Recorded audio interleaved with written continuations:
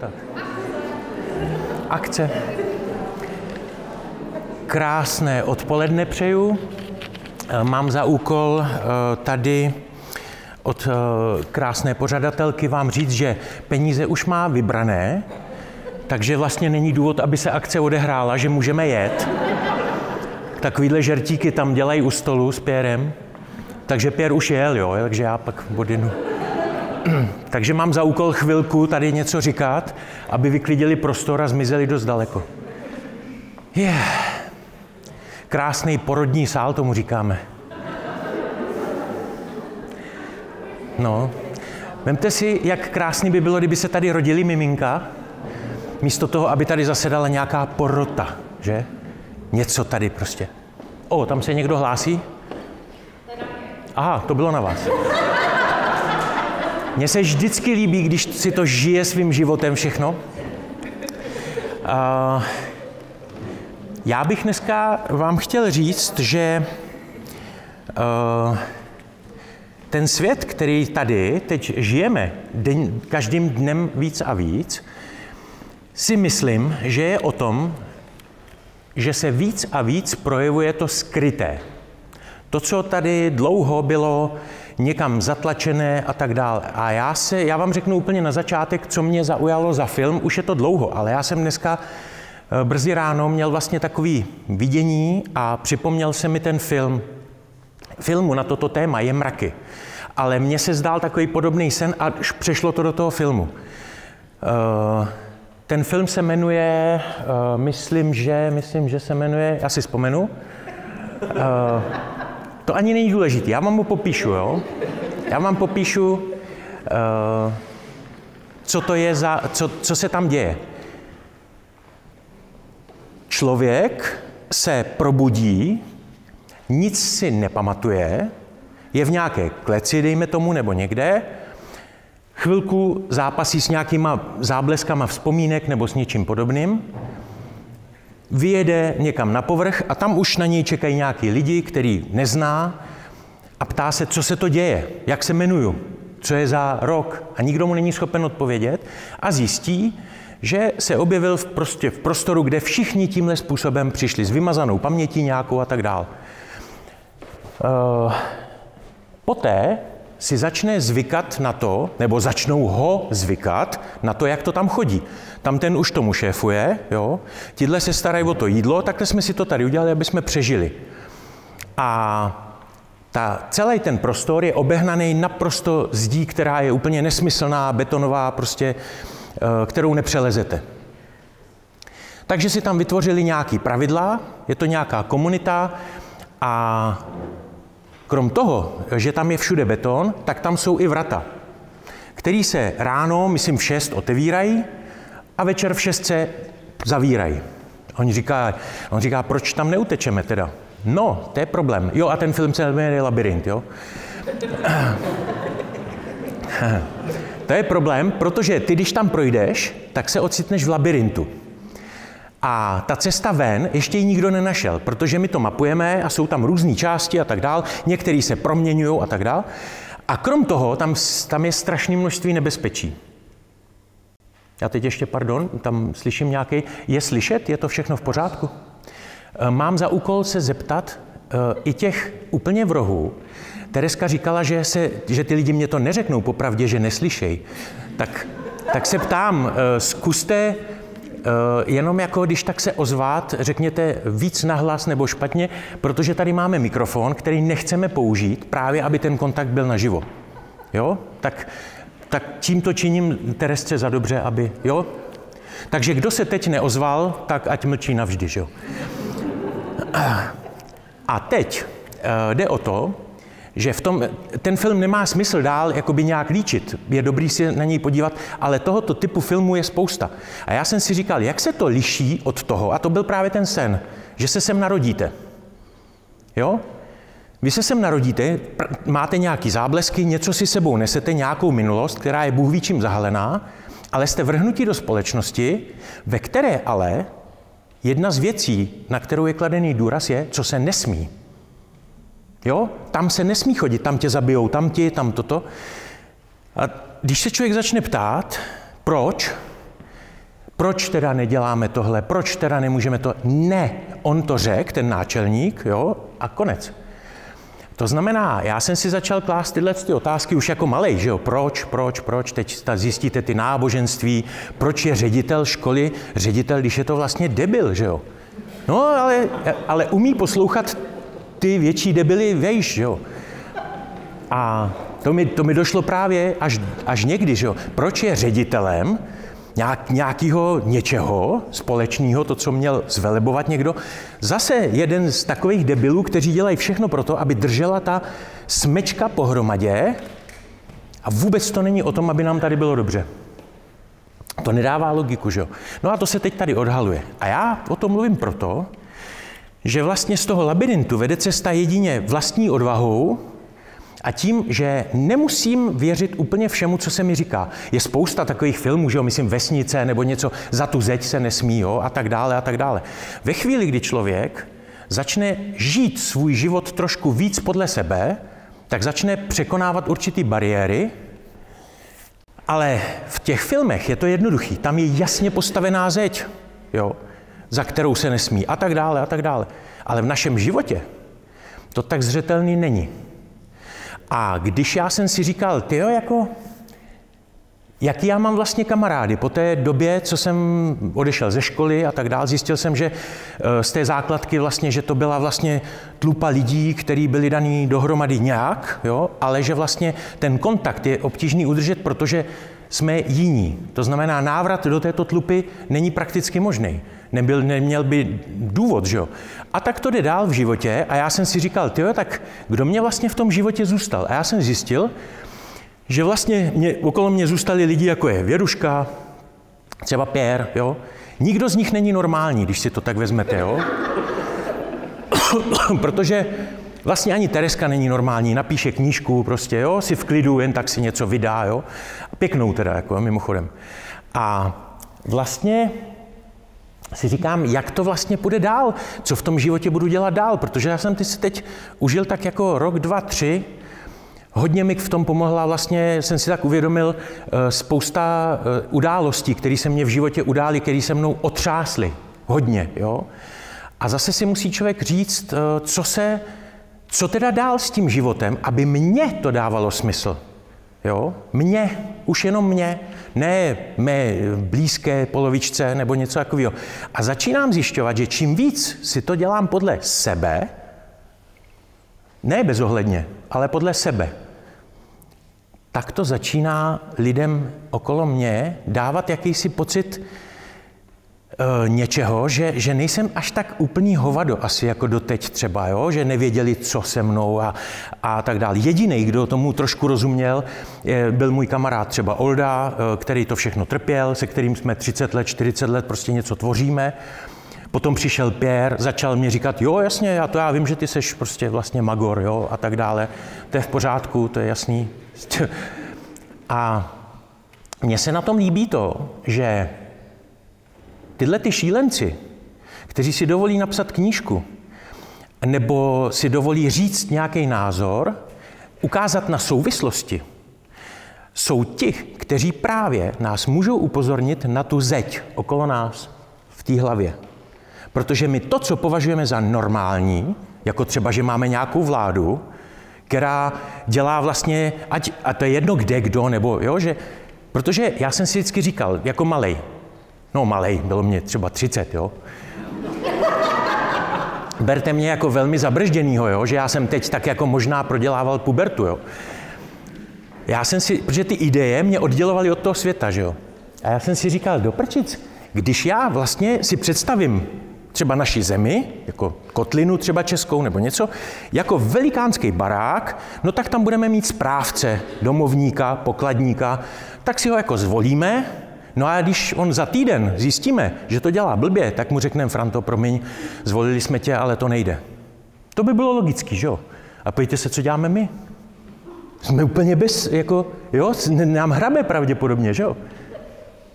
Prostě my zjistíme, že Eh, jo, eh, pokladník krade, domovník prostě nedělá, co má, do baráku teče a my říkáme, no tak, tak počkáme za ty dva roky, za někoho zvolíme, nebo tak, jo. A já jsem si říkal, co to je? No a najednou jsem zjistil vlastně, že já žiju dvojí život. Odmala. Svůj vnitřní, kterýmu rozumím, kde je všechno spravedlivý, kde je všechno krásný. Ředitel je ten, kdo fakt to umí řídit, chápe ty učitelky, chápe ty děti a celý ten barák slouží k tomu, aby ty děti se vzdělali. Teď doprčit, no není nic vlastně opačnějšího, že jo, než když, se, když jsem dospěl jako. A teď jsem vlastně zjistil, že jsem strašně rád, že jsem potkal právě ty magory, ty blázny, ty šílence vlastně, protože Pierre je šílenec.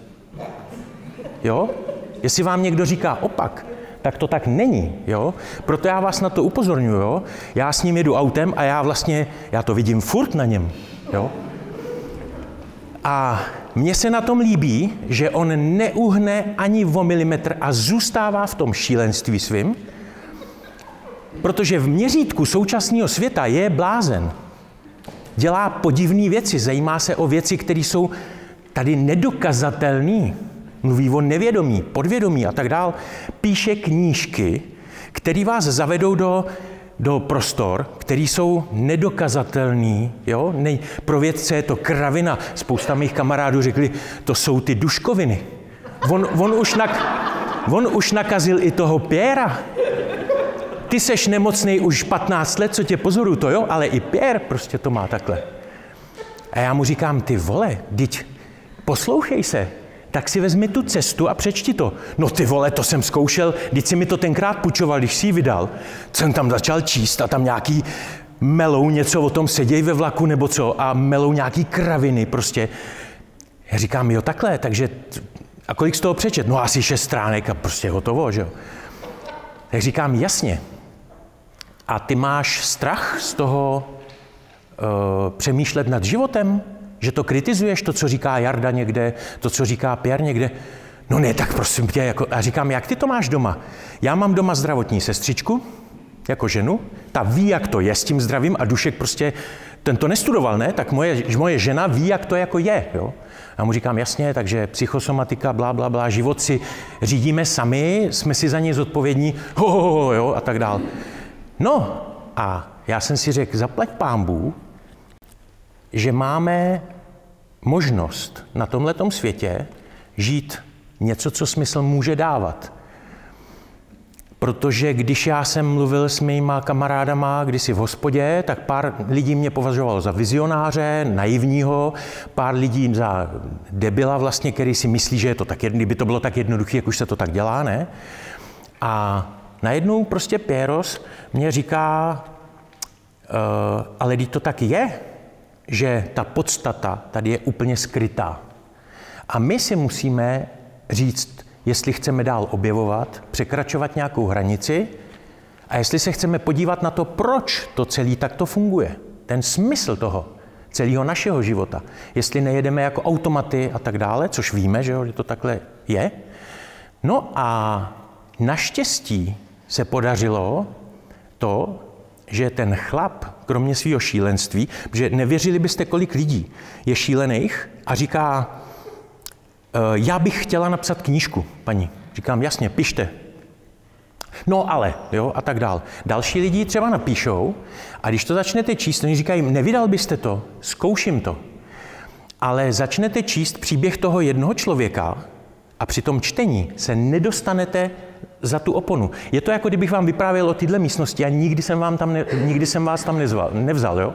To znamená, uh, můžeme si o tom povídat, jak chceme, co je tady skryto, jaký to má smysl, ale pokud vás tam nevezmu, tak to budou jenom bludy. Jenže existuje způsob, jakým se do tohoto světa dostávat. V prvé řadě je to jaká urči, určitá zvědavost, určitá chuť něco nového poznat. No a těch způsobů bude ne, nepřeberně, ale mně se na tom líbí, že když Pierre napsal ty knížky, takže vlastně vás tam necpe, ale vlastně vám promítá film, který si promítáte vy svojí energií. Obraz je tak barevný, jak vy do toho dáte tu představivost nebo tu chuť to číst. A ten, ob, ten film se neustále zlepšuje každým dalším čtením nebo navrácením se do toho prostoru. A já o těch knihách vždycky, vždycky to jako vychvaluju a tak dále. Už, už jsem i vyhrožoval, jo, že právě ty knihy jsou ta, to, že když to tam už navštívíte a vrátí vás to zpátky potom, tak si řeknete Hergot, ale už není možné, vlastně se, už není možné ten svět ignorovat. A ten svět za tou oponou, asi ho zná každý, z pohádek a tak dále, ale když jsou to věci, které udělá Pierre, tak pro mě to je velmi čistá esence, taková ta pozvánka za, ten, za, tu, za tu oponu, proto, že sám prošel tím očistcem tady na té na planetě. Protože já už jsem zkoušel mnohokrát ho jako zmanipulovat nebo něco, ani, aniž jsem to třeba věděl, jo, zatáhnout do, do těch svých sraček a tak dál. A on se nikdy nenechal, naopak mě to třeba i v klidu za týden takhle jako vrátil, jo. Já jsem, já jsem prostě na něj byl hnusný něčem a potom on jako, aha, vidíš, tak co, co, co na to tvoje srdce? Protože já jsem třeba na něj byl jako, jo, jo kde máš tvoje srdce teďka, jo, jo, frajere. No a on pak říká, no a a na tohle co tvoje srdce? No a teď to člověku celý sepne. To znamená, není potřeba vůbec při poznávání a propojování těch dvou světů používat cokoliv jiného, než jenom klid, otevřenost, vnímavost. Konec konců kvůli tomu jste teď na té přednášce tady.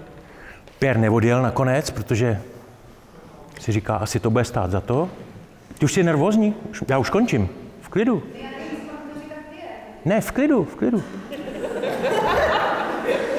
Dívej, taková nepsaná dohoda je taková, že já tady budu mluvit tak dlouho, až, až se něco stane, nebo někdo zhasne, nebo tak. Ne, ne, ne. Jde, jde vždycky o ten, jde vždycky o ten bod, krása. To je Tereska, tady kvůli tomu jsme tady. To je Tereska. A tenhle ten dlouhý úvod je tady ode mě eh, proto, abychom si uvědomili, že máme každý den tu možnost té volby. A já tady držím CD Pěrovo a prachy. Jo, litr. Takový fajn prostě. A teď jde o to, když si má člověk zvolit, když mu třeba řeknu, chceš CD nebo chceš litr? Jo? A už začnete přemýšlet, jo, hmota, anebo něco, co je, jo, jako, nebo skryto v něčem, že jo. To samé tady máme v těch knihách. Máme tam knihy, máme tam peníze. Vemte si, co vám hrdlo ráčí. To, co je na tom stole, je naše nabídka tady. Hlavně Pérová, eh, Pér nabízí to, co je uvnitř. Já nabízím ten papír a ty papírky tam na stole. Vy si určíte, co s tím uděláte. To znamená, jestliže zjistíte, že našemu přání aby se vám dařilo lépe v životě, že, ho, že mu vyhovíte tomuto přání líp tím, že si seberete prachy na něco, tak to udělejte. Kdo by ale chtěl jít právě za tu oponu, tak sebere ty prachy všechny, že jo? Vyzkouší si, jak to jako je. Jo, máte všechny možnosti. Já to schválně všechno říkám naopak, jestli si všímáte dneska. Jo? Aby ta hlava přestala pracovat tím běžným způsobem. A už cítím, že se to pomalinku naplňuje, to znamená, jenom chci teď říct, že přichází řečník jemného ducha,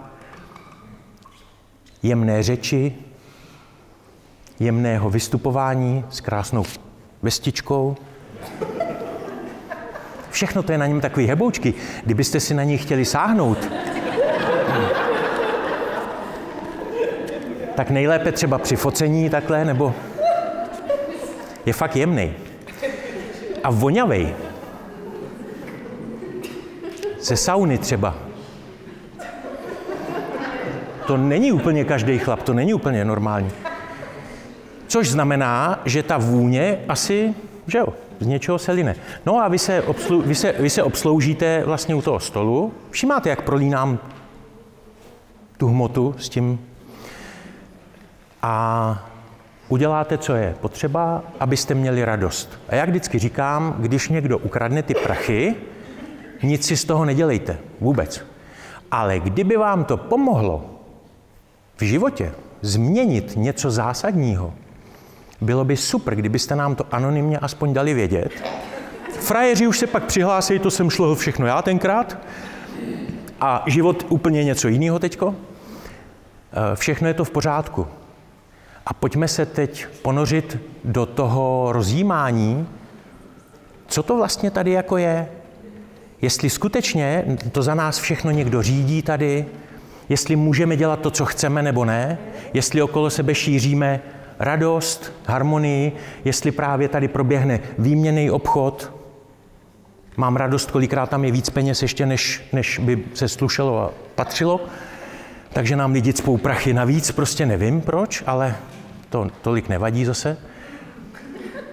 A už vám přeju teď do tohoto prostoru, krásného porodního sálu, abyste si to užili a abychom tady společně eh, mohli zažít něco, co běžně v tom venkovním světě, kde ve světě seriálů a podobně jsme zatahováni, neustále zatahováni někam, kde se neděje nic zajímavého. Tak se pojďme podívat třeba na to, třeba se to Pěrovi povede, že bychom se tady mohli do něčeho takového ponořit. A to je to, co já bych tady všem toto odpoledne, podvečer v Jíčíně v porodním sále moc přál. Děkuji za pozornost a prosím Pěra. Děkuji.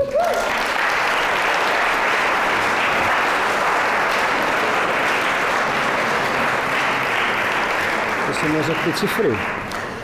Neřekl neřek jsem vám ty cifry, ale já tady dám papír, na kterým jsem se to pokoušel napsat, abych vás tím neobtěžoval, ale říďte se jako doporučením, když říkám, když to budete chtít člohnout, člohněte to, jo? Žádný problém s tím nemáme. Děkuju. A je po cifrách. Tak eh, dobrý večer. Milan to teda vyladil opravdu úžasně, já jsem si to užil ze zadu, cítím se mnohem líp vyladěný, než když jsem sem přijel a to si myslím, že už jsme byli docela vyladěný příjemně. Eh, dneska máme takový téma, který, a samozřejmě jsem rád i na to, že Milan upozornil na jednu důležitou věc, ono na to člověk potom zase zapomene. Možná si to ještě vzpomenete, když byl ten covid, jak nebylo právě samozřejmě se setkat. Jo, seděli jsme doma, řídili nás přes ty obrazovky a zdálo se, že potkat člověka a setkat se s ním vlastně není samozřejmý. Jasně, teď to běží nějakou dobu a už to zase vypadá celkem jako normálka, jo, ale pořád je to zázrak. Jo. Já jsem jednou viděl takový film od Julio Medema, kde seděli čtyři lidi v místnosti a ten jeden říkal, víte, jaká je pravděpodobnost v tomhle vesmíru, že ve stejném čase, na stejném místě se sejdou čtyři lidé a pak řekl nějaký číslo. Jo. Já nejsem matematik, takže mě to číslo nic neřeklo, ale pochopil jsem, že je malá. skoro mizivá. A teď si vemte, že tady v jedné místnosti, v jednom čase, v jednom prostoru se nás tady sešlo tolik. Každý z nějakého koutu vesmíru, každý má nějakou historii, každý má nějaký důvod, proč jsem přišel, každý si sebou něco přinesl, pro něco vlastně přichází. A teď ještě ke všemu se můžeme vlastně jakoby setkat. Jo, to je já myslím, že to je zázrak, jo. A nevím, proč nám to připadá, jako že to je normální, jo. Že prostě jen tak člověk někam přijde a s někým se setká. Já jsem pamatuju, že jsem měl jednou sen, ve kterém jsem zemřel. A největší šok pro mě byl, že jsem tam byl sám. Já jsem hledal lidi a tam žádný nebyli. Ani ta moje milá, prostě říkám si, kde je? Ne, tam nebyl nikdo prostě. Říkal, ty vole kde jsou všichni ty lidi, co jsem nepotkával. Jako jo. A pak jsem si vybavil, že jsem měl podobný sen, když umřel Vladimír Kavka. Se mi o něm zdálo, měl jsem o něm dva sny, docela silný. A jeden právě byl takový, že on byl uprostřed nějakých lesů, tam taky nebyli žádní lidi, byly tam jenom lesy a on tam jezdil na takovým trošku jako, ne parní válec, jo. parní válce byly veliký, že jo. Je, jako, jako celá silnice třeba, ale tohle byl takový váleček trošku taková motorka, jako kdyby. Ale razilo to takovou asi, jak něco jako lesní cesta, jo? jako třeba metr, metr dvacet. A on si jezdil skrz ty lesy a takhle to tam výjížděl tím válečkem, ty cestičky. A já jsem mu říkal, Vladimíre, ty, co tady děláš? A on říkal, hele, já, Já dělám ty cesty. Dřív nebo později se tady nějaký lidi musí potkat. Optimista. Takže setkání není samozřejmost. Jo, někdy s někým žijete 40 let a vlastně ani nevíte, kdo to je. Pak to s překvapením třeba zjistíte. Ne, neříkám, že zjistíte, kdo to je, ale zjistíte, že nevíte, kdo to je.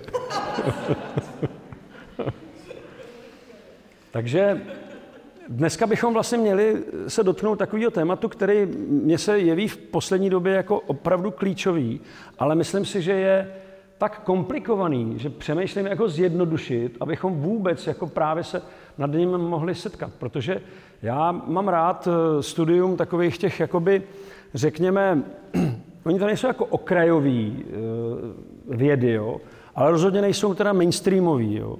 Protože nevím, jestli jste to zachytili, ale když jako nechcete se o něčem dozvědět fakt vůbec nic, tak si kupte prostě mainstreamovou vědu, jo? něco, nějakou nauku, která je schválená nejlépe všemi možnými instancemi. Teďka jsme měli výborný zážitek, vyprávěl to Jaroslav, že natočil takovej, je to obrana Sokratova, jo? jestli to znáte, jo? Ta obec odsoudila Sokrata, je samozřejmě to fenomén, jo? protože už jako Patočka mluvil o tom, že ta obec toho Sokrata musí vždycky odsoudit. Jo? Že se to děje pořád. A není, že Sokrata tenkrát odsoudili, ale že každý, kdo je jako ten Sokrates, musí tou obcí být odsouzený. Má ta obec by nebyla obec, kdyby ho neodsoudila. Jo? Jednou jsme se bavili o tom, co je umění a kdo je fakt umělec. A jo, skutečně jsme o tom mluvili. A, a Jarda právě citoval eh, Samuela Becketa, což je pro mě jeden z nejzajímavějších takových právě rozhodně ne mainstreamových umělců. A Samuel Beckett řekl, umělec je ten, který selhal. Myslí se tím z hlediska obce.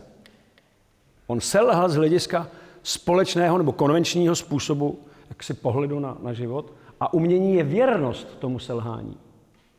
Jo, je to složitý, když si to člověk jako zkouší představit, protože většinou právě se snažíme držet v těch mantinelech. A já mám tu zkušenost, že když se o něčem nechci nic dozvědět, tak si třeba přečtu noviny nebo časopis. Jo. A je to taková ta kaše. Jo. Jako, je dobře zkontrolovaná, to rozhodně. Jo. Je, můžete si být jistý, že tam není nic za, na závadu. Jo. A právě bylo zajímavé, že ten Jarda natočil tady tu obranu Sokratovu, nějaký, a, a, a to produkovali nějaký filozofové právě. Jo. A teď představte si, že do toho přešla, přešla akce e, e, Hon na duška, že jo? letní taková zábava. Když byla ta okurková sezóna, tak prostě co mají ty chudáci lidi dělat, že jo? tak musí si najít nějakou zábavu, tak si našli tady tu. A, a ty filozofové, jo, který, já jsem si vždycky myslel, že filozof je někdo, kdo je nestranej, kdo je nad těma stranama, jo? že on nemůže stranit ani tam, ani tam. Jest, jestliže je filozof, tak musí zauží, zaujímat pozici středu, těžiště. On nemůže říct, tenhle má pravdu a tady ten ne. On musí říct, pojďme hledat tu společnou pravdu. To je filozofie. No a tyhle filozofové řekli, Ježíš, to je blbý, ten Dušek to natočil, tu obranu Sokratovu, ale my to teďka se za to stydíme, protože on jako znehodnotil vůbec jako jméno toho Sokrata a to se teďka nesmí prodávat, jako, protože to natočil ten Dušek. Že jo? A ještě bylo výborný, že jeden z těch filozofů, když měl nejsilnější argument, řekl, jak může obranu Sokratovu natáčet nějaký bosonohej Dušek. Jo, Sokratovu obranu, že Sokrates, který po těch Aténách tam běhal bosej, že jo. Všecky tím právě iritoval, že nenosil ty boty. A teď jako prostě, jako, co tím kdo jako myslí, ale v každém případě je to teda politizovaný. Jo. Já když jsme se o tom bavili, tak jsem říkal, hele, jakoby přece, když je něco politizovaný, tak jako jak tomu chcete věřit? Jo? Jak, jakou to má hodnotu jako výpovědní? Žádnou, jo? Ano, říká vám to, tady 80% lidí si myslí tohle a jenom 20% s tím nesouhlasí. No. Chcete být v menšině? Jo?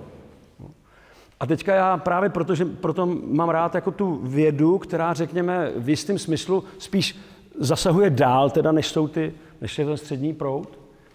A zdá se mi, že v tuhle chvíli tam, ale ono to tak bylo vždycky, a teď jako víc než kdy obvykle, tam běží opravdu neuvěřitelně zajímavý vlastně poznatky. A je to třeba ta subatomární fyzika, nebo jsou to ty filozofové, kteří dávají dohromady se s, s psychologama a jdou do těch holotropních stavů, to znamená, jako překonávají ten běžný ten běžný rámec, ve kterým se naše vědomí pohybuje. A musím vám říct, že když čím víc jako studuju tady tyhle, ty, řekněme, výběžky, tím víc je zjevný a ty psychologové, filozofové, i ty fyzikové už to začínají říkat. Takovou divnou věc, jako, že ten svět si tvoří ten člověk kompletně celý. No to je jako dost napováženou. Já jsem, když jsem s nima pak ve diskuzi, říkám, počkej, chceš říct, že i tu hmotu? Jako my tvoříme i tu hmotu? No, bavte se o tom s Honzou Rakem, že? Ten, ten vám řekne, no, počkej, jaká hmota? jaká hmota prostě? Říkám, no ne, spadnu, jak si rozbiju hubu, ne? Jasně, když tomu věříš, tak se ti to stane.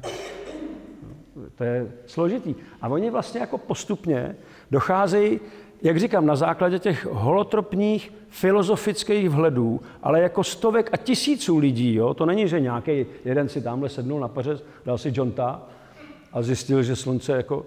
Já, já si znáte ten vtip, já mám teda strašně rád, tak nějaký chlap se nějak urazí, se pohádá s manželkou a odejde na balkon, že jo? A říká si, já se musím uklidnit, tak si zapálí jonta tak jako kouká před sebe a si říká, ty taková žhavá koule prostě proletí jednou takhle jako po druhý, po třetí, po čtvrtý. A přijde ta manželka a říká, trucuješ tady už čtyři dny,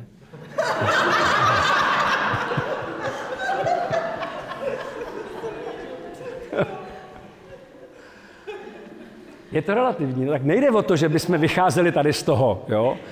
Ty lidi, kteří to zkoumají, prostě mají k dispozici opravdu tisíce různých zážitků a skutečně to zkoumají poměrně dost dohloubky a zdá se, že dneska už to není ani úplně jako eh, tak zakázaný, jako se to jevilo před časem a viděl jsem dokument, ve kterém tam ten pán, že, který objevil to LSD a je mu už asi 100 let, jo, on je nějaký vysokovibrační, takže skutečně už je to fakt jako stařec, ale zároveň velmi živý, velmi krásný člověk a on říká, ani nevíte, co z země spadlo. Já jsem si 30 let myslel, že jsem otevřel dveře peklu. Jo, protože vlastně přived to LSD na ten svět a 30 let se to tady vlastně jako o tom mluvilo, že to je jako pekelný ďábelský nástroj. A jasně, protože se ukázalo právě, že ty lidi si čuchli ke svobodě a to nikdo nechce. Že jo? Jak chcete manipulovat lidi, kteří začínají být svobodní. No. Takže se z toho udělalo tohle. Ale vrátím se k tomu, co jsem chtěl říct. Z těch jednotlivých zjišťování těchto jaksi v jistém smyslu, já si myslím, že to je ta vlna, jo? taková ta vlna, která běží jako před tím lidským společným vědomím, tedy dalo by se říct, že je velmi progresivní. Tak se ty lidi shodují na jediné věci, a to je ta, kterou jsem řekl. Člověk si to kompletně tvoří celý sám. To je samozřejmě zjištění krajně,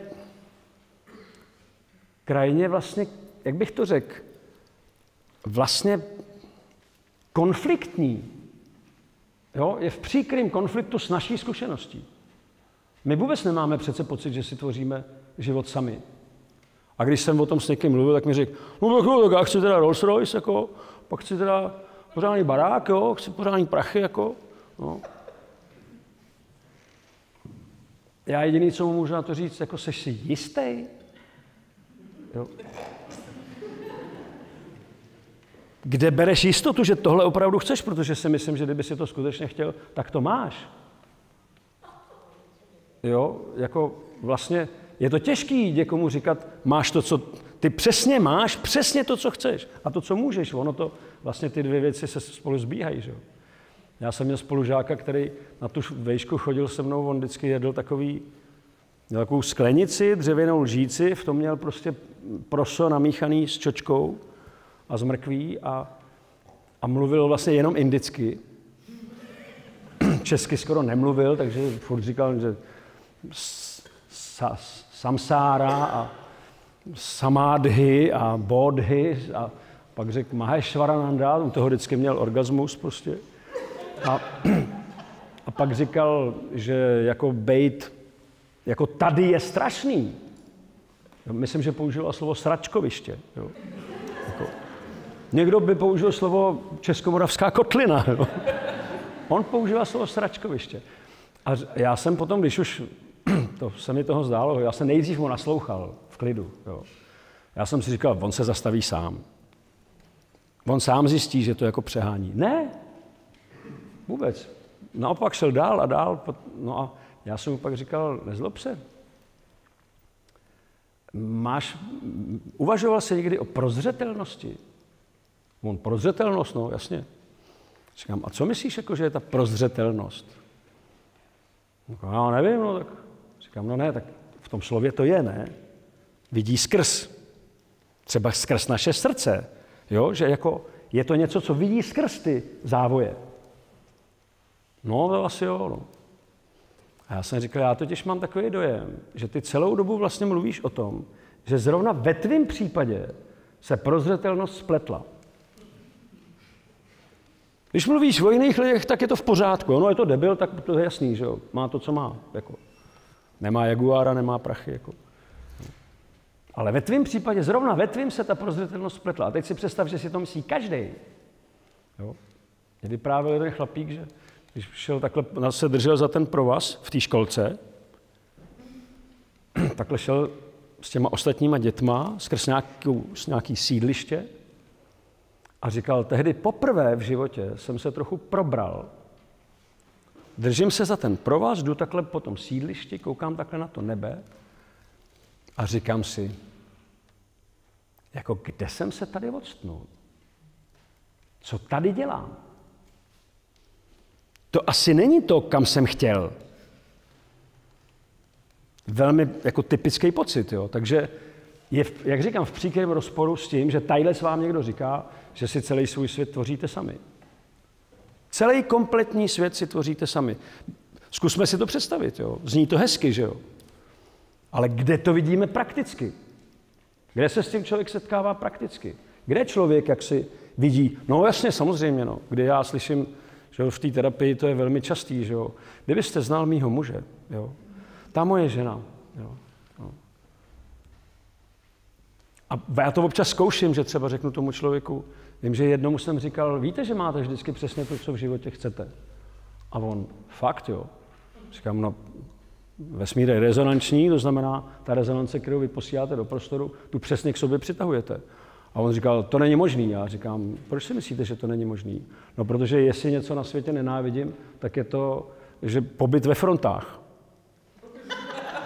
A já, to je 80% mýho života. Jsem mu říkal, a víte, že nenávist je jeden z nejsilnějších vztahů, kterým se připoutáváte vlastně k tomu předmětu té nenávisti. Jo. No to teda... A jo, rozumíte, jo? Takže chci říct, že to je krajně jako podezřelá myšlenka, to, že bychom si tvořili kompletně celý svůj svět. Samozřejmě, že v určitý míře už to třeba chápeme. Jo? Možná, že můžeme pochopit, že v nějaké situaci, kde jsme vždycky byli zvyklí se třeba rozuřit, já jsem měl takovýho klienta, ten mě natchnul, on přišel a on říkal, já jsem četl nějakou tu vaši knihu, a víte, já jsem vedl takový podnik a já jsem byl prostě zvyklý, když někdo mi jako nevyhověl, tak jsem se prostě na ně rozuřil. Samozřejmě nejvíc to odnášela manželka že jo, a děti. A říkal, teď já jsem jako, do toho jsem četl tu vaši knihu. Jo. Říkám, a která to byla? Myslím, že psychologie souhlasu. Jo. No a teď já jsem, představte si, co se mi začalo dít. Já jsem se rozduřil na tu ženu. S pocitem jako dobře vykonaný práce, že jo, jsem šel si číst. A někde v polovině nějaký kapitoly si říkám, proč já jsem se na ní vlastně rozuřil? Teď ona nedělala nic tak jako špatného. No a pak jsem se na ní zase rozuřil. No, a už jsem jenom šel k té knize. A říkal jsem si, proč já jsem se na ní vlastně rozuřil? A pak mi to začalo docházet. Jo. A říkal, pak jsem měl takový aha momenty. A vlastně v určitý jeden moment já už jsem se na ní nerozuřil. A to je možná jeden z těch momentů, ve kterých se na to člověk může sahnout. Jo? Jakým způsobem tvoříme svůj svět? Já se občas snažím říct lidem, a je to těžký, jo, že my, jsme, my nejsme zvyklí kultivovat svoje prožívání. Nám se zdá, že naše prožívání je daný. Zamítli mi žádost idioti. Jo? Zase z nás dělají blbce. Jo, jako, je to jako běžný způsob reagování, jo, ale samozřejmě o tom právě není ta řeč. O tom jakoby nemluvíme. Jo. To není způsob, kterým tvoříme svůj svět. A myslím si, že v něčem ten Honzarak to říká vlastně opravdu skvěle, když říká, rozlišujte jednoduše. Buď jste reaktivní, to znamená, že vy netvoříte svůj svět. Svýma reakcema pouze vlastně vyhovujete nějakému typu právě mainstreamového proudu. Jo, pak se člověk samozřejmě stává nějakým robotem, který prostě jede v předem nalajnovaným. Já si pamatuju, že nedávno umřel ten, ten Emaho, že jo, jestli jste ho znali, to byl opravdu moc dobrý, moc dobrý šaman. A on říkal, že jednou se mu stalo, že byl takový nemocný, když mu bylo kolem 18 let, byl hodně nemocný. A sedí v autě, je tam červená, on čeká, až padne zelená a najednou v tom krátkém čase vidí celý svůj život dopředu. No, vezme cukrárnu po svým tátovi, vožení se, má dvě děti, taky auto, jo, pak nějakou hypotéku. A teď on tam sedí a říká si, bože, proč mi ukazuješ můj život dopředu? No, a protože to byl budoucí šaman, tak to pochopil, že jo? Abys ho nemusel žít, ty vole. Protože to není život, který je kreativní. To je život, který je reaktivní. Jo? Je daný předem, je jak naprogramovaný vlastně. Jo? Ty seš proto nerozhod. Ty seš do toho prostě takhle jako samospádem tě to tam vlastně vede. No a tak to nežil, že jo? No, žil něco jiného. A to je ta kreativita. Jo, to je to, že si to člověk volí a že se člověk vlastně rozhoduje. Ale ono, víte, když jsem uvažoval o tom, co je na tom tak komplikovaného, tak jsem si říkal, že já mám takový příklad, jo, třeba vám bude připadat přetažený za vlasy, ale mně se zdá jako v něčem hrozně zajímavý, protože já jsem z mnoha pramenů, který jsem vlastně tady jako v tomhle smyslu měl k dispozici, tak jsem se dočetl, že už je to jako mimo pochybnost, přesto to nikdo neví. A já jsem si říkal, nemůže to být podobný. Jako když přišel, jsem to byl Koperník nebo který? Koperník, který řekl, je to jinak. Jo? My jsme přece byli jinak naprogramovaní. My jsme prostě koukali na to slunce, viděli jsme, že slunce se otáčí kolem té země, protože země je to těžiště, země je to centrum, země je ten střed a všechno se otáčí kolem té planety, že jo? To jsme viděli, ne? To přece jsme viděli. Proto jsme usuzovali, že to tak je. A teď přijde nějaký koperník a řekne, eh, sorry, jako, všichni se mílíte. My se točíme kolem toho slunce. To slunce je to těžiště. No. A teď vlastně on se nesetkal hnedka s nějakým nadšeným přijetím. Jo. Ty lidi jako neříkali, děkujeme, že jste nám sněl jak si takové brýle z našich očí. My konečně jsme prozřeli a konečně začínáme chápat, jako, jak to je. No to je úžasný. Ne, tak to vůbec nebylo. Jo. A když sledujete ty, ty dějiny toho ducha, tak zjistíte, že to trvalo stovky let, než se to stalo samozřejmým povědomím. Pro nás už to není tak složitý, ale trvalo to velmi, velmi, velmi dlouho. A když jsme o tom právě mluvili s Emilem Pálešem, který se mi zdá, že je mimořádně zajímavý myslitel, tak on řekl, to je přesný, ten posun je velmi přesný, protože tehdy se muselo přijít na to, že těžištěm je slunce, že ono je tím tvůrcem, jo, ono je tím, co tvoří a pořádá vlastně nám známý vesmír. A dneska musíme pochopit, že to je to vnitřní slunce, který to tvoří. Jo, tehdy nám, jak ty kroky jdou, že po stovkách let, ono, nemyslete si, když se člověk si furt myslí, jak, jaký ten vývoj je rychlej, ale není vůbec rychlej. Je to mnoho generací, než se nějaká věc stane samozřejmou pro nás, pro všechny. Jo? Pak jsou nějaký lidi, kteří to pochopí dřív, většinou se s nima, s těma prvníma se zatočí, že jo, na to není nikdo zvědavý.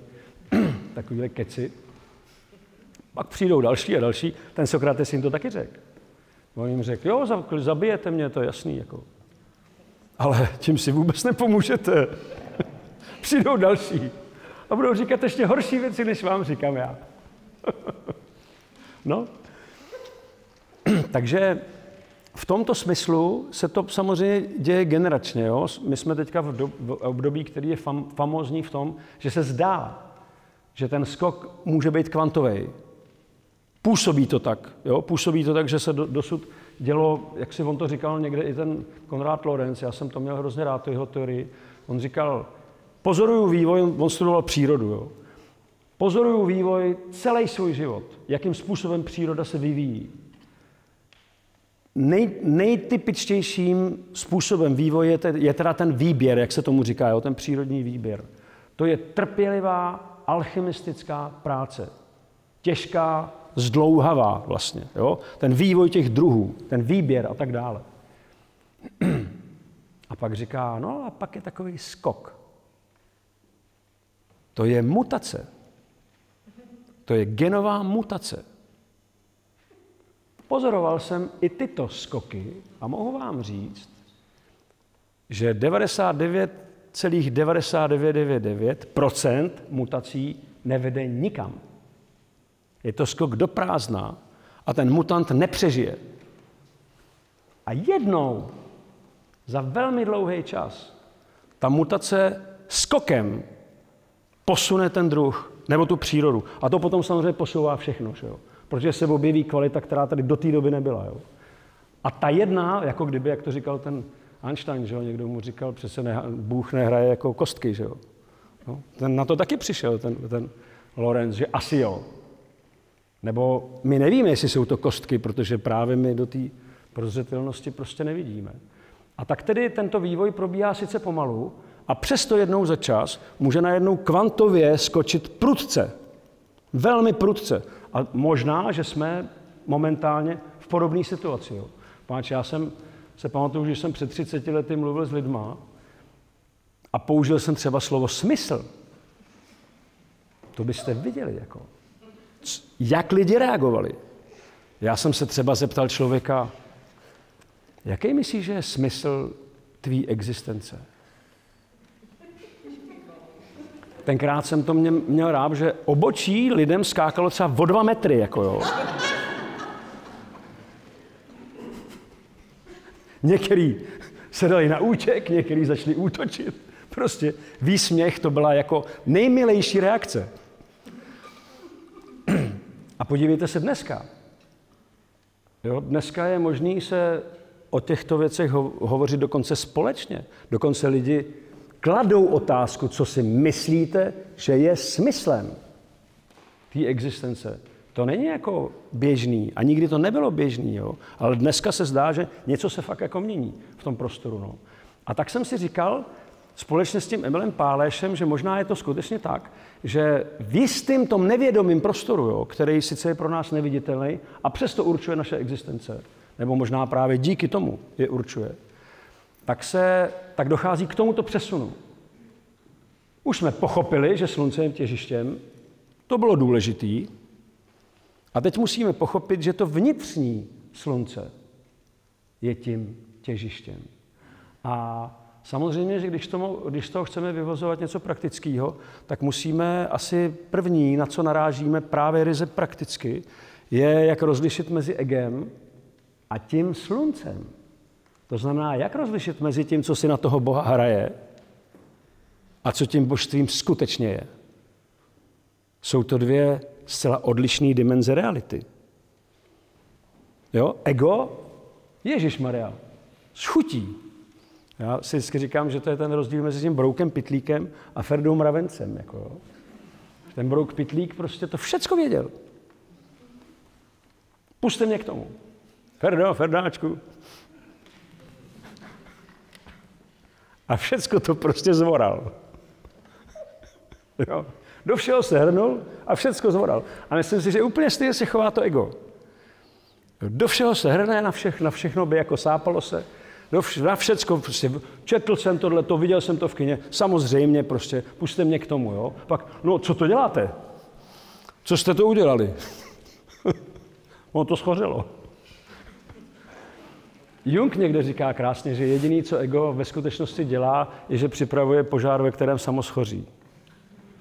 To je samozřejmě milý, když vám přijde takovýhle klient, který už je v této fázi, on většinou neví, jak je to skvělý.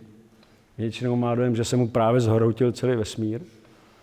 Ale je to ta fáze, ve které už můžeme vlastně začít rozlišovat. Jo? Protože božství si nemusí na nic hrát. Ono je tou silou. Ono ve skutečnosti je touto, touto silou.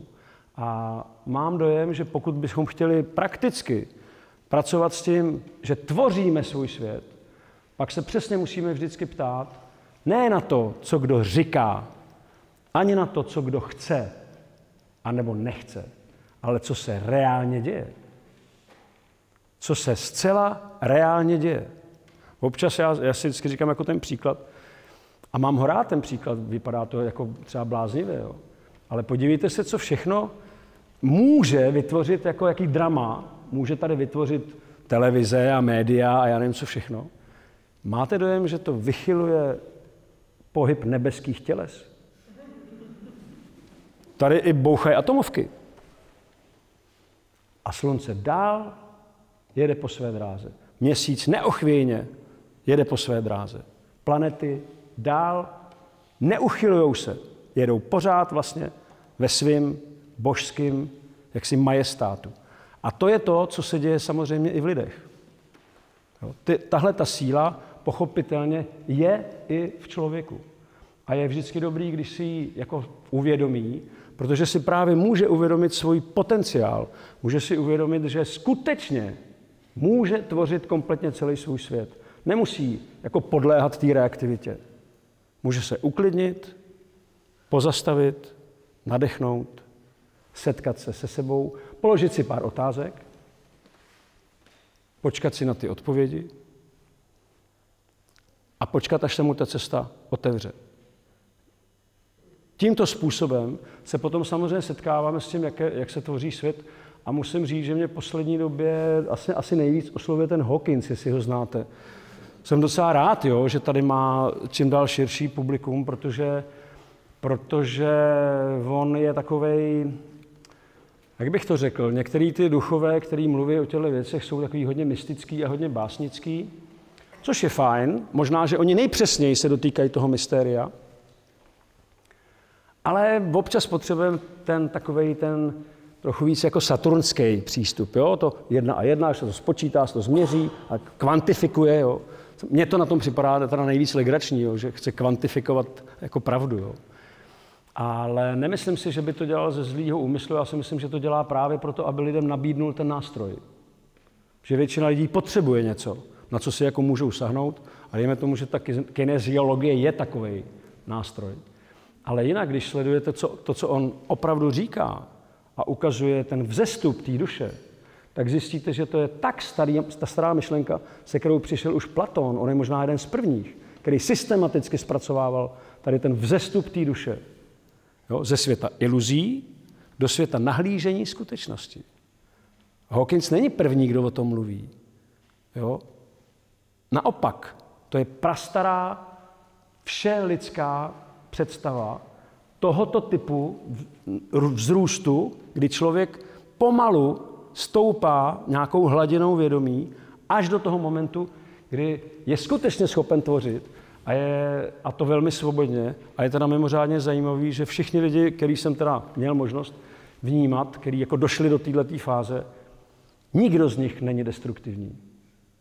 Nikdo z nich nemanipuluje. Nikdo z nich nevyužívá nikoho. Naopak, poskytují se. Jo? Ten drtikol, kdyby pes zaštěkal u mých dveří, tak mu odevřu. Jo? Když to budete sledovat, jako tyhle ty duchy, které někam jako dospěly, tak vždycky to jenom odzbrojuje takovým tím, že na, taková ta naše typická nedůvěra je, jasně, tak oni ty lidi si budou teda dělat, co chtějí, že jo? a bude bordel. Ne, tady není bordel, tady je úžasný pořádek, opravdu. Platíte prostě dvě třetiny svých peněz, který vyděláte, vracíte tomu systému a máte fakt fantastický svět. Jo? Nejsou díry na silnicích vůbec, jako všechno je hladký. Jo? E, státní zpráva, to je dokonalá funkce prostě, jo? to jako o něco požádáte a hned vám už se vás ptají, jestli teda, stačí vám to dneska, jo?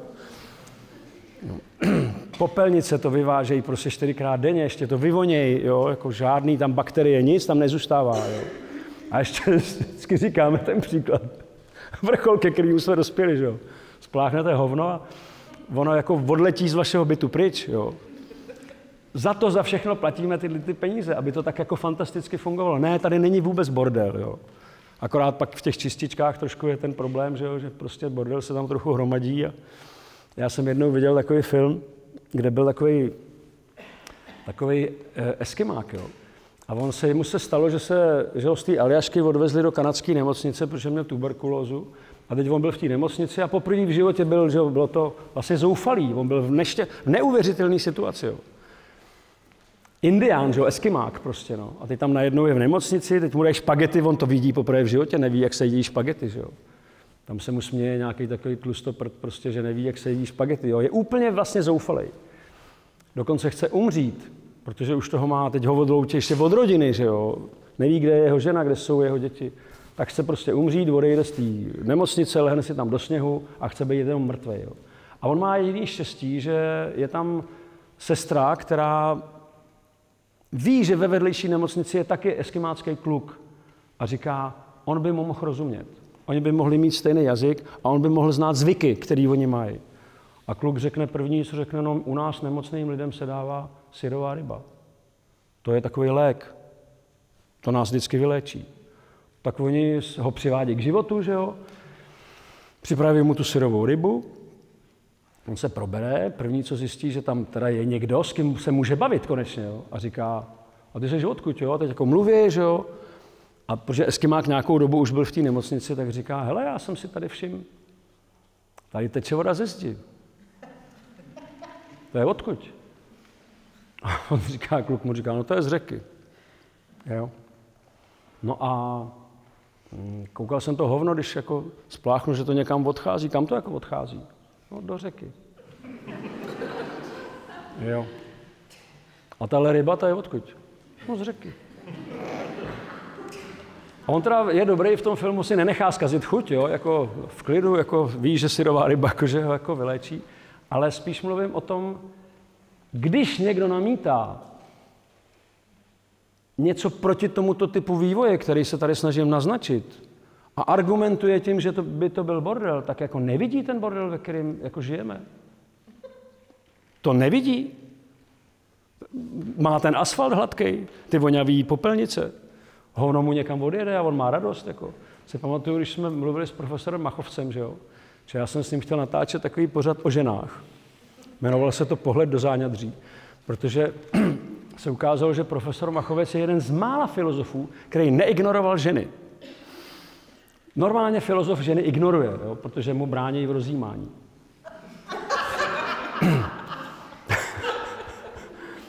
Profesor Machovec, ten byl v pohodě, ten je neignoroval.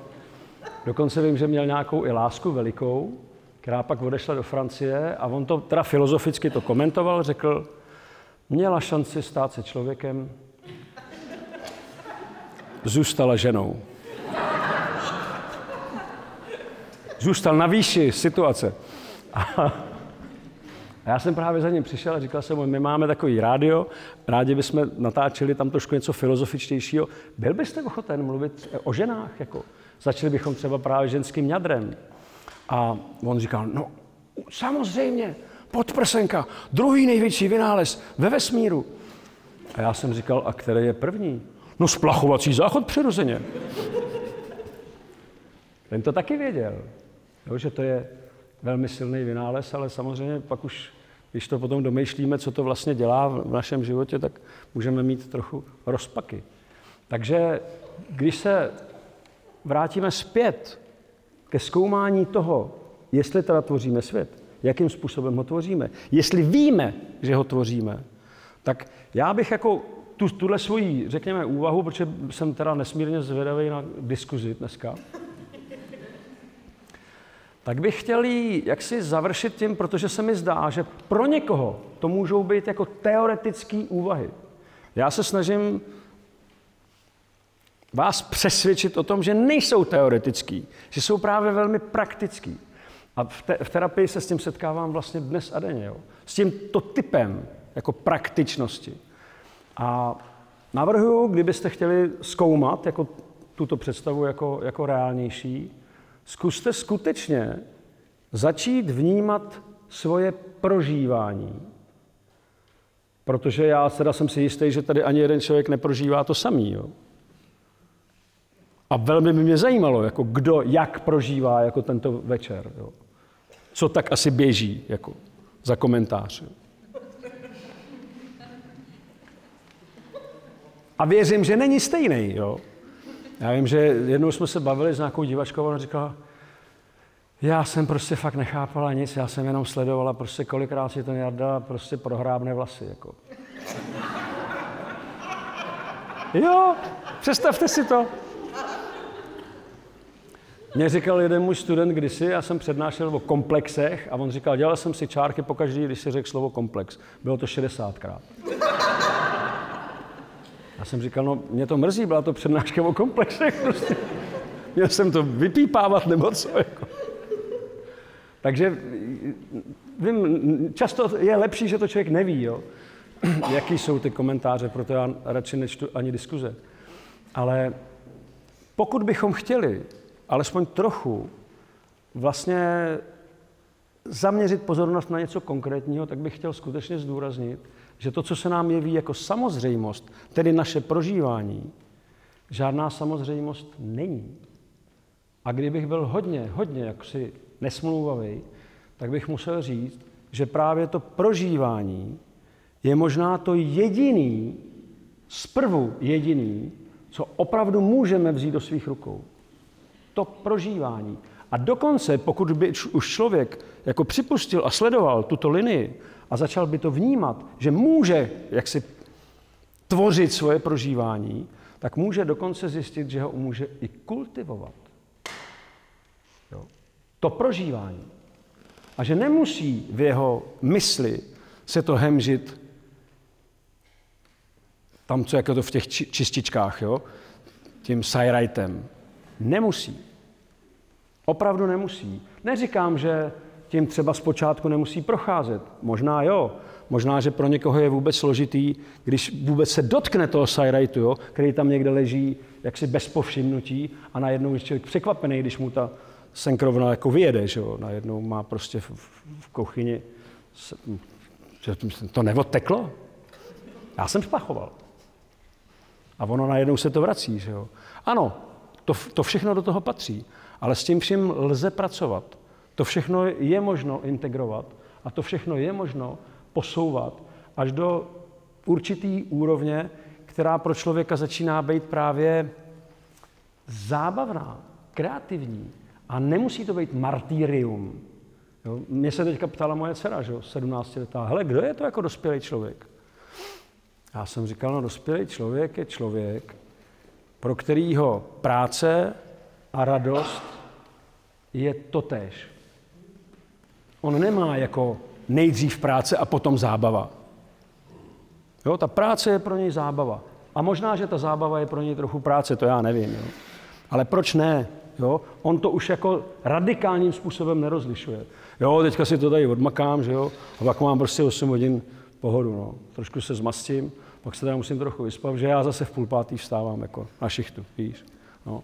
Tak to jako není dospělý člověk. Jo? Dospělý člověk je podle mě člověk, takhle jsem se snažil jí to říct. A ona to pochopila, protože řekla, to asi dospělých lidí moc není, víš. já jsem říkal, to já nevím, no. Těžko říct, ale mám dojem, že pokud bychom připustili, že s tím prožíváním pracovat můžeme, a že to je ta cesta k tomu, jak tvořit skutečně ten svůj život, tak možná zjistíme, že, že to není tak jako nemožný. Jo, že to není tak jako vyloučený, že nejsme tak nesvobodní, jak to může vypadat v tom reaktivním světě. Tam to vypadá, že je to daný. Chcete si zkazit náladu, puste si zprávy. Jo.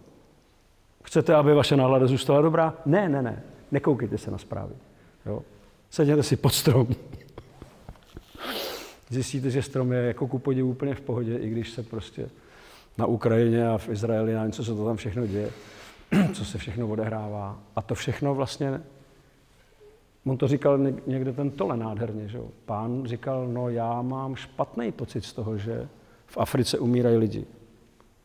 A tohle říkal, vidíte, a teď mluvíme o té zodpovědnosti. Vy jste za to asi spolu zodpovědný, že jo? Že v té Africe umírají ty děti. No, cítím se špatně. Nemám z toho dobrý pocit. Aha, a myslíte, že teďka těm, že někomu pomáháte svým špatným pocitem z toho, že umírají ty děti? A nakonec došli až k tomu, že tímto způsobem se spolu podílí na té negativitě toho světa.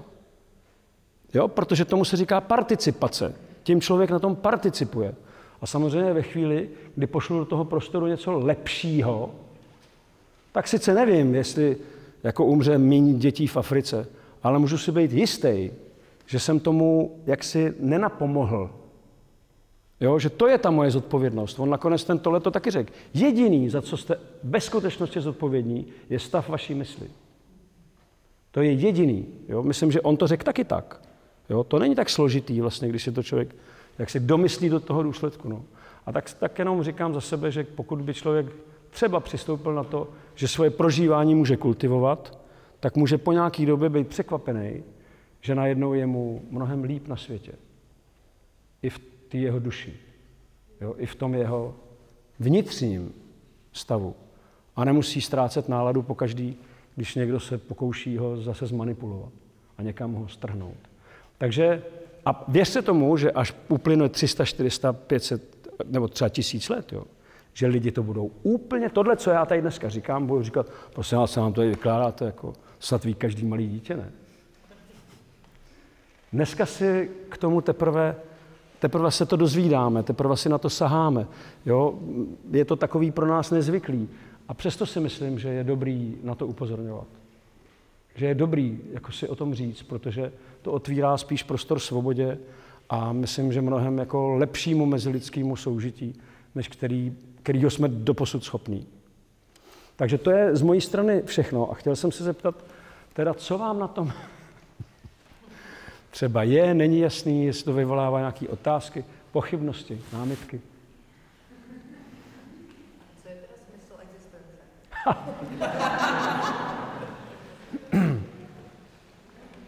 to je skvělá otázka. Co je smysl existence? No? Já si myslím, že to je ta existence.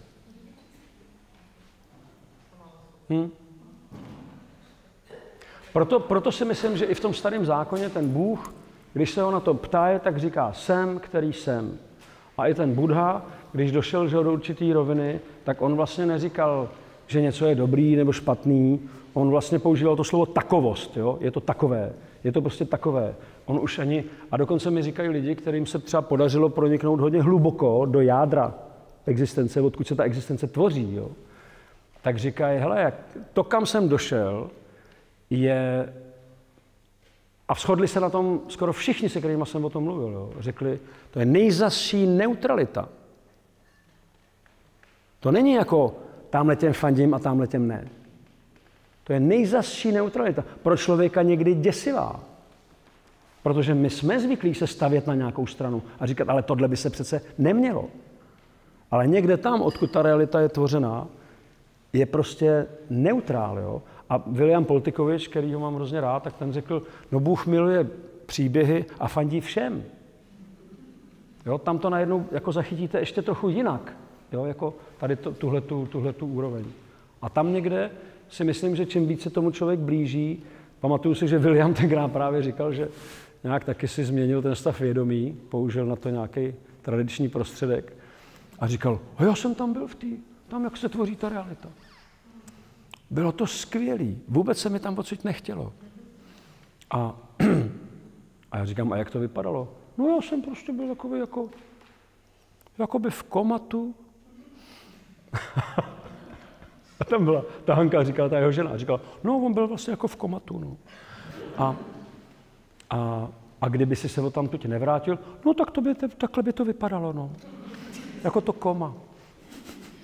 Jo. A on říkal, ale já jsem kvůli Hance jsem se nakonec vrátil. no, Takže jo, jako tam, tam se, jak říkám, pro člověka, on to, Jung hodně často používal ten termín, aby nám to jako zpřístupnil, že, že náš pocit je cizota. Jako cizota vlastně, jo? protože to je tak vzdálený našemu lidskému světu, že jako, jako kdyby tam nebyla empatie, ale není to tak. Jo? Je, to, je to láska typu skutečně jako velmi nezaujatýho, jo? skutečně hodně jako otevřenýho do kterého se pak vejde i to, co se nám v tom životě děje a je to někdy strašný. Když mluvíte s matkou, že jo, která ztratila dítě, tak jako zkuste jí to vysvětlovat prostě.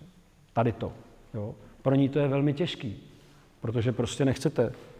Jo, to, to, je, to je něco, co člověk prostě nechce. A přesto ten vesmír to uskuteční, protože je to z nějakého důvodu potřebný. Dokonce je to nevyhnutelný. Kdyby to šlo udělat jinak, stane se to jinak. Bohužel, nebo co já vím proč, prostě takhle to je. A někdy stojíme před těma událostma a jako nechceme je vlastně přijmout, protože bychom jim rádi rozuměli. Ale jsou mimo naše chápání. A jednou, ještě pardon, než to jenom dořeknu, jednou to říkala úžasně Anna Hogenová, ona řekla právě, když mluvila o těchto těch událostech, které jsou pro člověka vlastně nepřijatelné, tak říká, Tyhle ty události, které se nemohly nestat, fatální, jsou vlastně fatální, jsou odpovědí na otázky, které si bojíme položit. My se obáváme položit si tyto otázky. Ale tyto otázky, pokud si je položíme, nám pomohou pochopit, proč se to muselo stát. A možná, je to blbý to takhle říct, kdybychom si tu otázku položili o něco dřív, tak se to takhle stát třeba nemuselo. Ale to je co by kdyby, jo? to tím nemá cenu se zabývat. Ale myslím si, že ona to řekla jako nejpřesněji. A když se člověk odváží si tu otázku položit, tak najednou i, za, i na takhle strašnýma věcma se vlastně může otevřít a může si říct, no jo, vlastně, proto. Vy jste chtěl něco k tomu? Chtěl jsem, přemýšlel jsem a nahrál jste mi trošku na to, to, ty názory toho filozofa na ty ženy. A já chodím leta, nějaký mám na, na přednášky různého typu a pochopil jsem vždycky, když na, když to zdravotní téma nebo prostě tyhle, že je většina žen.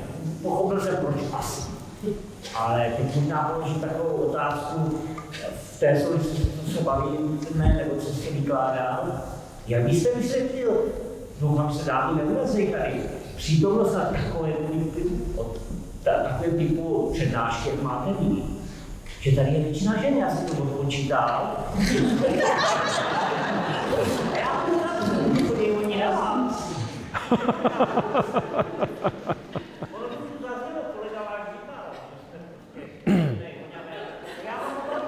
To máme takhle domluvený, jo, rozumíte?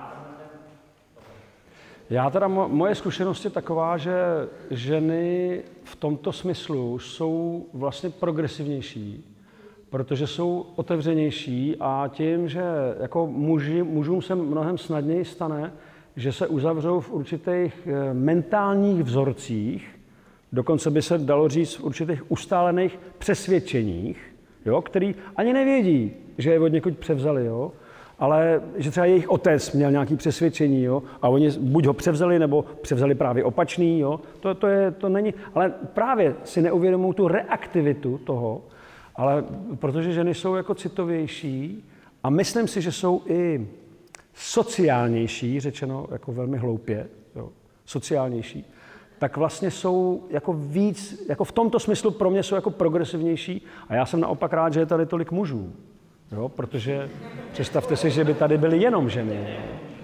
Jo, to, mě by to samozřejmě nevadilo, jo, ale jako já se, si považuji přítomnosti mužů, ne, že bych byl nerad, že jsou tady ženy, jo, ale jako, jak říkám, ženy jsou nakloněný, jak si jako nabírat určitý druh energie a jsou jí prostě otevřenější. Jo? A myslím si, že v jistém smyslu i jako pomáhá. Já miluju v divadle, když přijete. Tam prostě, tam se chodí vždycky ve dvou. Jo. Málo kdo, málo, že by chlap přišel takhle do divadla. Jako, to on jde do baru. jo. Kdyby šel do divadla, co by tam dělal? Takže vždycky tam je ta žena, taková jako natěšená už. Vedle ní sedí ten chlap, takhle jako tam sedí. Nedej Bůh, že se tam řeší nějaký vztahový otázky, jo, jako... To vždycky ta žena tak pokukuje potom, že vidíš, no, no, no, ty taky, vy, ty taky, no, no, no. A, a já teda musím říct, že mám hrozně rád takový moment, který, ke kterému někdy dojde dřív, někdy třeba vůbec, jo, jako Nedávno tam seděl takový pán, ten zůstal prostě zaťatý až do konce. Jo. Já, protože Jarda mluví, ten nemá tolik času a já to sleduju, jako prostě já se tam brnkám, že jo? A tyhle seděl v první řadě, on se dvakrát zasmál, ale proti svý vůli. To on nechtěl. Pak byl spíš ještě takový z toho jako podrážděnější. Ale, ale většinou je to tak, že ten muž se po nějaký půl, tři čtvrtě hodině začne jako usmívat, jo, už, a už je to jako dobrý, prostě vlastně nelituje úplně toho, jo, není to tak ztracený čas, jak si on myslel, že to bude. Někdy veme tu ženu i takhle za ruku a pak odcházejí. A nám právě, my jsme byli hrozně rádi, že nám teďka, protože to děláme vlastně na lávce, že jo, kde je zároveň jako restaurace a takový klub, a teď nám říká, vlastně jedna číšnice říká, já jsem ráda, když jsou tady vaše představení, protože po vašich představeních se lidi chovají hezky. Poděkujou, požádají, jo, jakoby, a my říkáme, to není samozřejmost. A ona říká, to byste se divili. Není. Jo, jako, tak spíš pro tohle, jakoby to, to, je to, jak to vnímám já. Jo. Proto si myslím, že ty ženy, nevím, co bychom bez nich dělali, sice nám brání v, v takovým jako jednodušším dosažení satory, ale na druhou stranu nás jako docela zličťujou. Takže zaplať pán Bůh za to. Nevím, jestli jsem uspokojil vás jako tu odpovědí, ale... To je mi jasný, to je mi jasný. To je. Ano, ano, ano, ano. Je, je. Ale rozhodně si, rozhodně si myslím, že, že to, co jaksi je kýžený a žádoucí, a možná my jsme jeden z prvních, z prvních civilizací, která tohle jako ostře narušuje, je partnerský dialog mezi mužem a ženou, který je skutečně jako kreativní a tvořivý. Jo. A když o tom mluvíte, to je jedno, jestli s mužema nebo s ženama, ku podivu ty ženy to vědí jako líp než ty muži. I ty ženy vám to řeknou. Žena ráda následuje muže, pokud muž jak si ví, co dělá. Ona ho ráda podpoří. A jestliže žena má převzít jako řídící roli, dělá to s krajním odporem a vlastně potom je to spíš jako destruktivní. Jo? My, když přijedeme na Severní Moravu, tam bohužel je to jako hodně destruovaný kraj, tam prostě věč, po, s pořadatelkou jednáme, v restauraci jsou ženy, v hotelu jsou ženy, tam mluvíte vlastně s ženama a my se pak už někdy ptáme, eh, kde je, kolik máte dětí? Tři. Eh, kde je muž? Čtyři děti nepotřebuju. Je tradiční odpověď té ženy, jo, ale to není dobře. Jo. To je vlastně jako narušená jako harmonie, jo. to je vlastně narušený jako něco, co by tam mohlo a mělo dokonce fungovat. A když to nefunguje, je to škoda. Jo. Buďme, buďme vděční za to, že, že jsme schopní jak si žít jako v nějakém aspoň jakýmsi míru navzájem. Jo. A právě když jsem u toho Machovce, tak ten říkal ten geniální příklad. On právě jaký o tom mluvil, jak to ty ženy a muži mají. Že jo. A pak říkal, a víte, oni když, nejlépe, když si nejlépe rozumějí, tak to vypadá, že si nerozumějí vůbec. Na první pohled. On jde do zaměstnání a zastaví se ve dveřích a řekne, Marie, kolik je venku stupňů Celzia? Ale přesně. A Marie míchá že guláš a řekne, kabát si vem.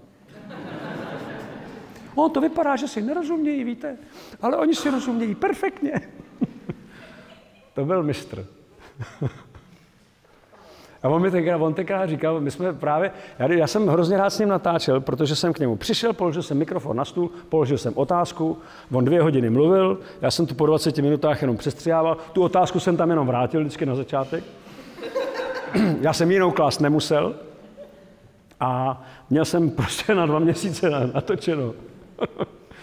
A on právě měl nádhernou jednu měl teorii, právě kde se vzalo to ňadro. No to je vlastně spíš taková tuková záležitost, jak se, protože žena měla méně pohybu, ne, ten muž tam spíše běhal, on lovil, ta žena spíše seděla u ohně, no, starala se o ty děti. To víte, no, víc se se jí ukládal ten tuk. Já myslím, že to je takové tukové úložiště. A pak byl, měl nejlepší snad to bylo, víte, já mám takového přítele, to je, to je, že, to je lékař a tam se ty ženy svlékají a já mu říkám, ty jsi šťastný člověk, že tobě se tam svlékají ty ženy. A on říkal, nemysli si, to není, není o co stát. No, to je minimum, minimum je opravdu jako si toho, co by si člověk užil. Jo. Většinou je to tvrdé martyrium. A takhle on jako mluvil, ale pak najednou řekl, a jestli pak víte, proč se ženy při běhu usmívají? Říkám, ženy se při běhu usmívají? Já jsem znal Jarmilu Kratochvílou, že jo. Se mi nezdálo, že by se při běhu nějak usmívala. No nemyslím, na závodech to se samozřejmě neusmívají, ale tak, když žena třeba poběhne za tramvají, hned se začíná usmívat. Já říkám, no, no to si všimněte. Jako, pravda je, že od té doby jsem jako na to se zaměřil a fakt, jako, i ta stařenka, ona popoběhne za tou a už se usmívá. To má vážný důvod. A říkám, a jaký důvod to prosím vás má? A on říká, no přece Žena musí jak si to v tom muži vybudit, tu sílu, ne? aby rod pokračoval. No, proto ona svým způsobem jak si odkládá, že zdráhá se i v těch hloupých filmech vidíme, jak žena utíká v tom březovém háji, ten milenec za ní běží přece.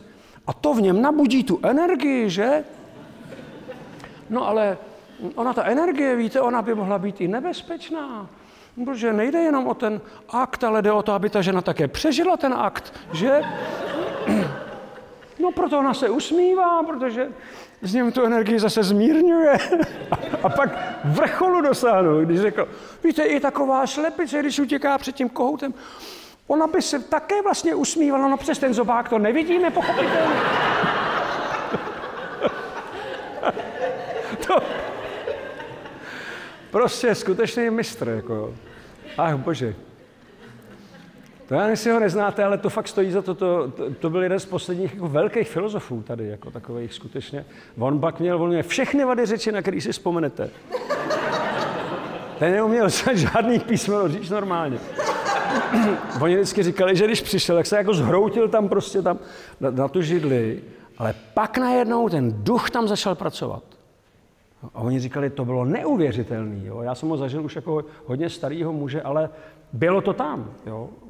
Vlastně mluvíte se starcem, který ale v momentě, kdy se naladí na ty spirity, to bylo něco. To bylo něco. Profesor Machovec. No.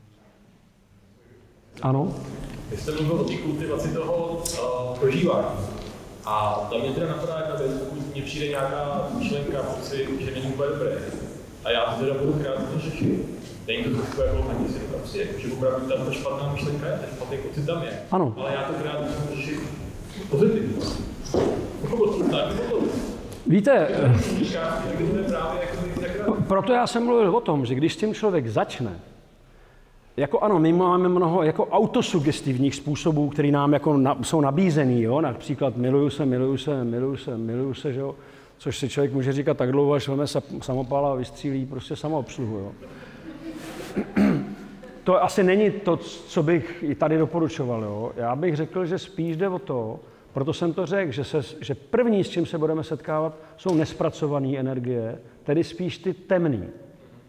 A proto alchymisti, kteří byli jedni z prvních jako hlubiných psychologů, dalo by se říct, mluví o tom Nigredu se zoufalstvím pláčou a naříkají a říkají, to je strašný průchod. Teď mi zrovna někdo posílal sen, ve kterém je před ním jenom černá, černá, černá, černá a někde vzadu takový bílý okýnko. A on ví, že se tím musí prostě probrodit, než dojde k tomu okýnku. Jo, to je typický obraz Nigreda. Jo, tedy něčeho temného, nespracovaného, co teda musíme začít zpracovávat. Jo. Ale nespracujeme to tím, že to budeme potlačovat nebo odmítat nebo se tvářit, že to tam není. Jo? My potřebujeme vědět, co to je. A já vždycky říkám, že když se stínem, My jsme totiž zvyklí a naučený jako výchovou, že jo, tradicí. Nepřá, nepřítel přece je někdo, kdo má být potlačený. Ale v té psychologii analytické vlastně začnete zjišťovat, že nepřítel, tedy stín, je vlastně něco, s čím se potřebuju seznámit a zpřátelit. Já, ne, já nejnáročnější je, když můj stín stojí proti mně. Jo, to je vždycky miluju, že jo, takový ty lidi, co právě přijdou do toho divadla, jako o půl hodiny později, a místo toho, aby se tam v klidu tiše někde sedli, tak se dožadují svého místa, že jo. My musíme přerušit představení, teď všichni vstanou, teď oni tam musí jako jít. A já jim vždycky říkám, v pohodě, jo, jako klidně, jako udělejte si to, jak potřebujete. Nám je, to jelo pozdě. Samozřejmě, my to všichni chápeme. Jo. Ale to je vlastně ten moment toho, kdy ten stín, jak to říká někde Jung, jo, Vlastně ten člověk chce být nenápadný, ale čtyřem lidem šlápne na nohu, osm židlí schodí jo, a pak ještě sám spadne, protože prostě právě naopak. Jeho ego chce být nenápadný, ale jeho komplex prostě ho učiní nápadným. Nebo chcete někoho představit a najednou si znáte ho 40 let a vy si nemůžete vzpomenout na to jméno. To dělá vlastně ten stín, jo? jako ta, ta temná energie. A my jsme, jak říkám, my jsme zvyklí být vůči tomu v opozici ale první, co se musíme odnaučit, je tohle. Nebejt v opozici vůči svýmu stínu. Připustit si právě, že máme stín, máme méně cenné složky. Jsou naše, patří k nám. A když se s nimi zpřátelíme, to je ta práce na tom stínu, tak najednou už nestojí proti nám, nenarážíme na ně, ale víme to. Víme to vlastně. Víme, že tohle jako, pardon, no, v tomhle já jsem takový docela jako neohrabaný například, jo, můžu říct, nebo prostě uvolním to napětí. Uvolním to napětí. A, a tím se dostávám dál. Jo? To je, proto vlastně ty první fáze té kultivace nejsou zrovna moc jako, jak bych to řekl, jako příjemný. Jo? Ale je to mnohem příjemnější. Já se pamatuju do teďka, když přišel ke mně klient, který ke mně chodil několik let, že jo, a furt se to jako nehybalo z místa, a najednou přišel místo něj jiný člověk. Jo. Najednou on nebyl v té úzkosti, nebyl v tom napětí, byl prostě uvolněný, byl úplně suverénní. A já mu říkám, jak jste tohle dokázal? A on říká, já jsem sám sobě umožnil dělat chyby. A já říkám, a jak jste to poznal? A on, šéf mi napsal takový dopis, ve kterém mi vytknul mnoho mých vat. A kdyby to bylo ještě 14 dní předtím, tak bych se jako bránil. A já jsem mu napsal, ve všem máte úplnou pravdu. A vy, vy tím vlastně zrušíte to napětí, který je mezi člověkem a stínem. Jo? Tím se zruší to napětí. Nemusím být perfektní, nemusím být skvělý, nemusím být dokonalý. Vůbec ne. Můžu normálně být, prostě být takový, jaký jsem. Jo? A to je, ten, to je ten první krok. A samozřejmě, když toto se člověku daří, tak například vlastně strach už nedominuje v jeho životě, už to není dominantní e, emoce, nepodřizujeme mu jako veškeré svoje chování, a dostáváme se do jiných dimenzí, mnohem zajímavějších, mnohem nebezpečnějších, mnohem víc napováženou. Pak najednou zjistíme, že jako být v tom strachu je vlastně skoro nejbezpečnější. Proto půlka lidstva v něm furt žije. Jo. Člověk není skoro za nic odpovědný.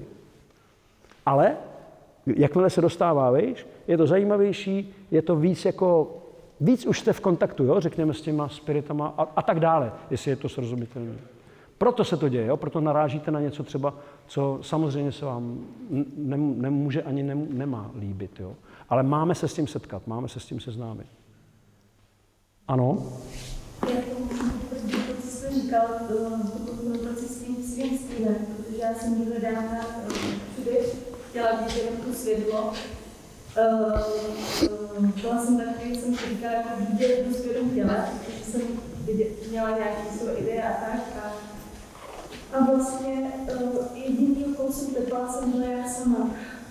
Prostě jak jsem, jak jsem mi dovolila vidět ten stín, tak jsem ho neviděla u těch druhých, u sebe jsem ho vlastně zažívala nevědomě.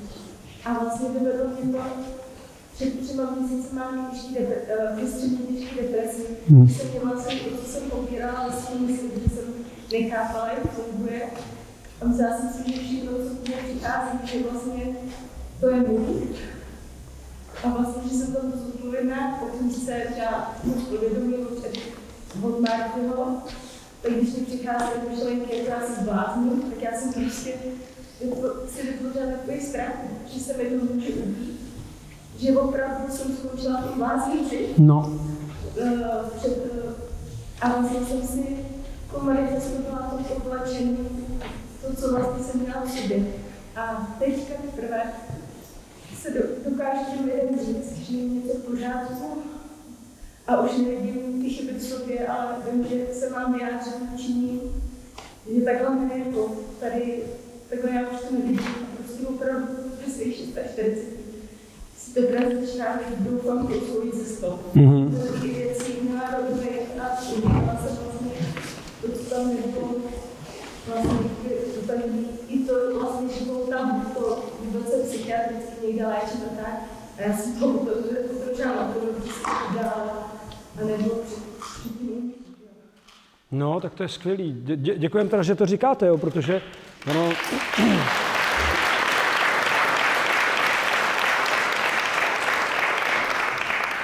On to někde říká Jung, jo, člověk tady prožije 40-50 let, aby nakonec zjistil, že je vlastně lidský.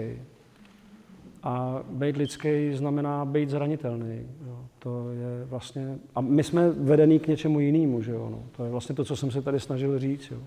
A tím jsme vlastně zbavovaný svý skutečné síly. A když, když si na tohle člověk sahne, tak najednou se k té síle zase vrací. Jo. Tak vám držím palce.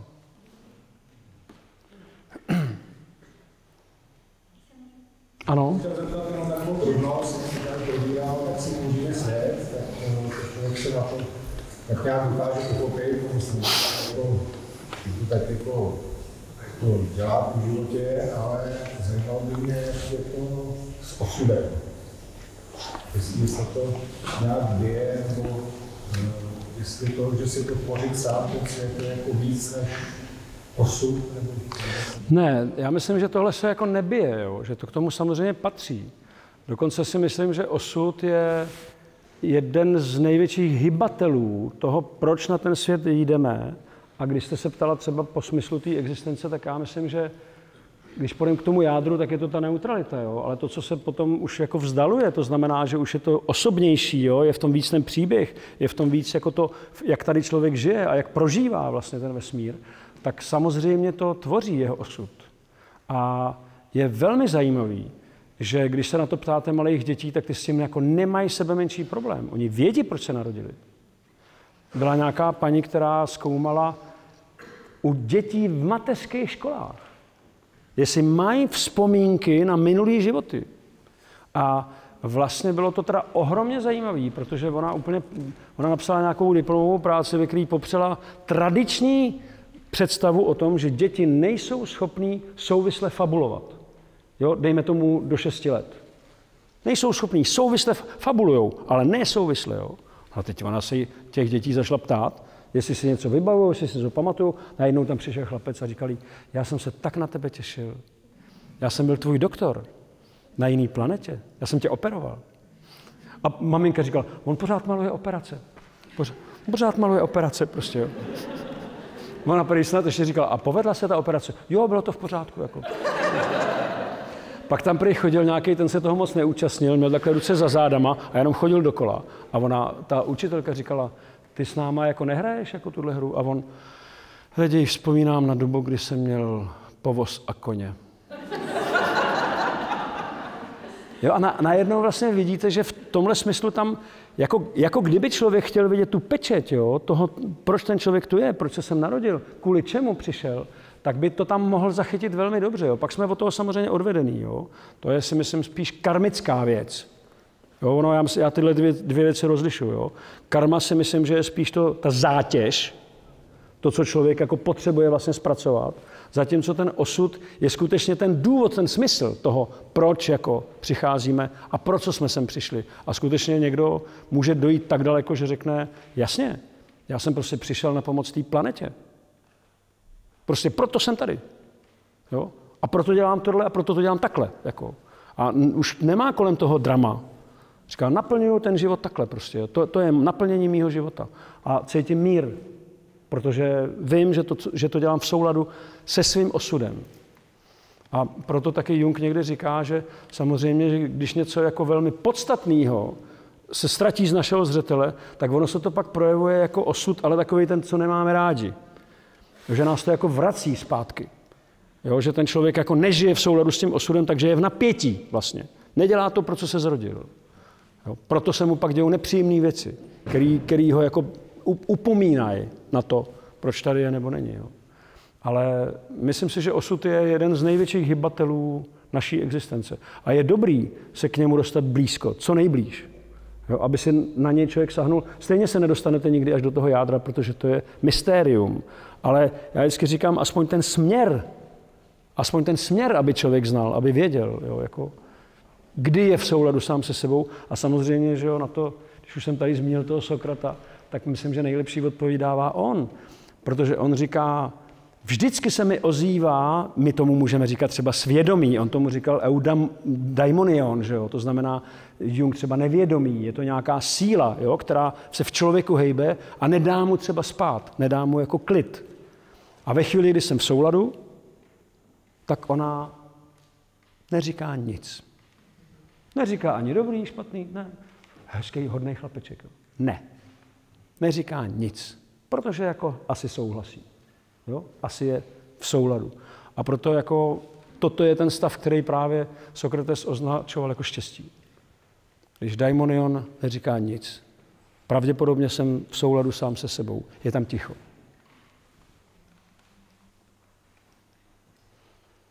Ano? se týká toho, jak svědomí, je možné, že to může být třeba nějak třeba se sní. Třeba jakoby, když člověk sní, tak kolikrát někdo může tomu člověku něco říct, tak jestli to s tím může mít jako taky No určitě, já, já si myslím, že třeba postava jako takového soudce, jo, nebo někoho, kdo, kdo naznačuje ten řád, eh, může být i vnímaná jako svědomí. Jo. Myslím, že Jung má velmi zajímavý stati, ve kterých se snaží vysvětlit, že svědomí je něco, právě ta, ta, ten hlas té božské části v člověku. Jo? Nám se snadno stane, že se od toho jako odkloníme, jo? právě protože něco trochu moc chceme, nebo někde se, jako, někde se zasekneme, ale tohleto svědomí je to, co jde s tím vědomím, jo? jako by to byl ten tichý pozorovatel, který dlouhou dobu nemusí ani říkat nic. A pak jenom vlastně se manifestuje. Mě, mě třeba říkala jedna, to bylo ohromně zajímavý, paní líčila takový sen, říkala, že se jí zdál několik let a že už se skoro bála chodit spát. Že vždycky Chodila po vodě, to se jí líbilo. Do po vodě to je skvělý, Ježíš taky chodil po vodě. Paráda. Jako jo. No a dojde k nějaký skále. Tam se tyčí skála a ona si říká, potřebuje ji překonat, aby mohla jít dál. No a skála tam je. Tak ona leze, že jo, vůbec nikdy nedoleze až nahoru. Pak to zase zkouší podplavat. Vůbec. Potom, jak to, prostě furt vymýšlí ty strategie. Jo. No a až jí dojdou ty síly, že jo, tak se skloní a řekne, no, tohle je nad moje síly. A skála zajede. Jo? A to jsou ty zkušenosti, které potřebujeme.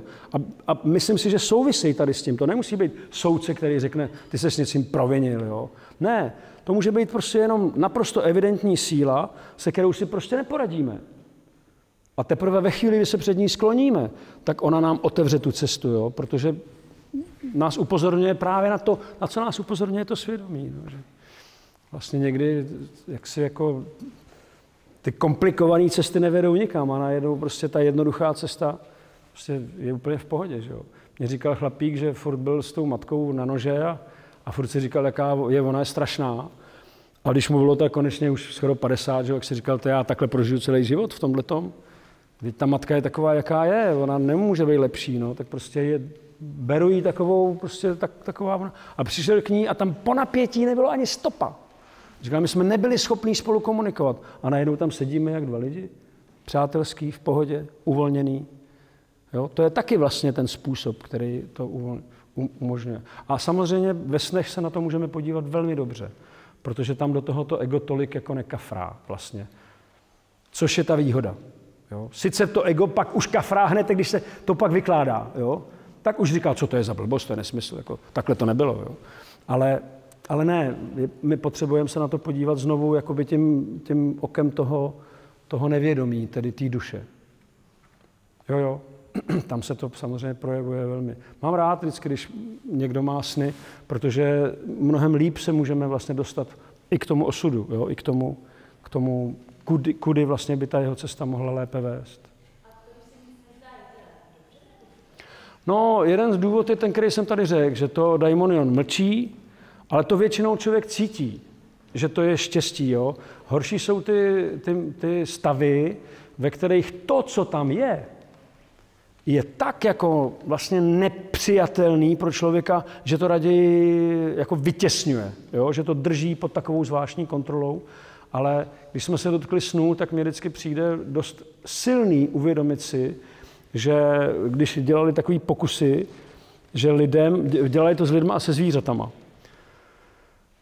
Měli všechno, jim nechybělo nic, jo. Nic ve smyslu jako potravy, bezpečí, jo, jako saturace všech potřeb, které měli, ale jak se blížila fáze REM, to zna, i spát je nechali, ale jakmile se blížilo REM, to znamená ten moment, kdy se ty sny jako exponujou, tak je probudili.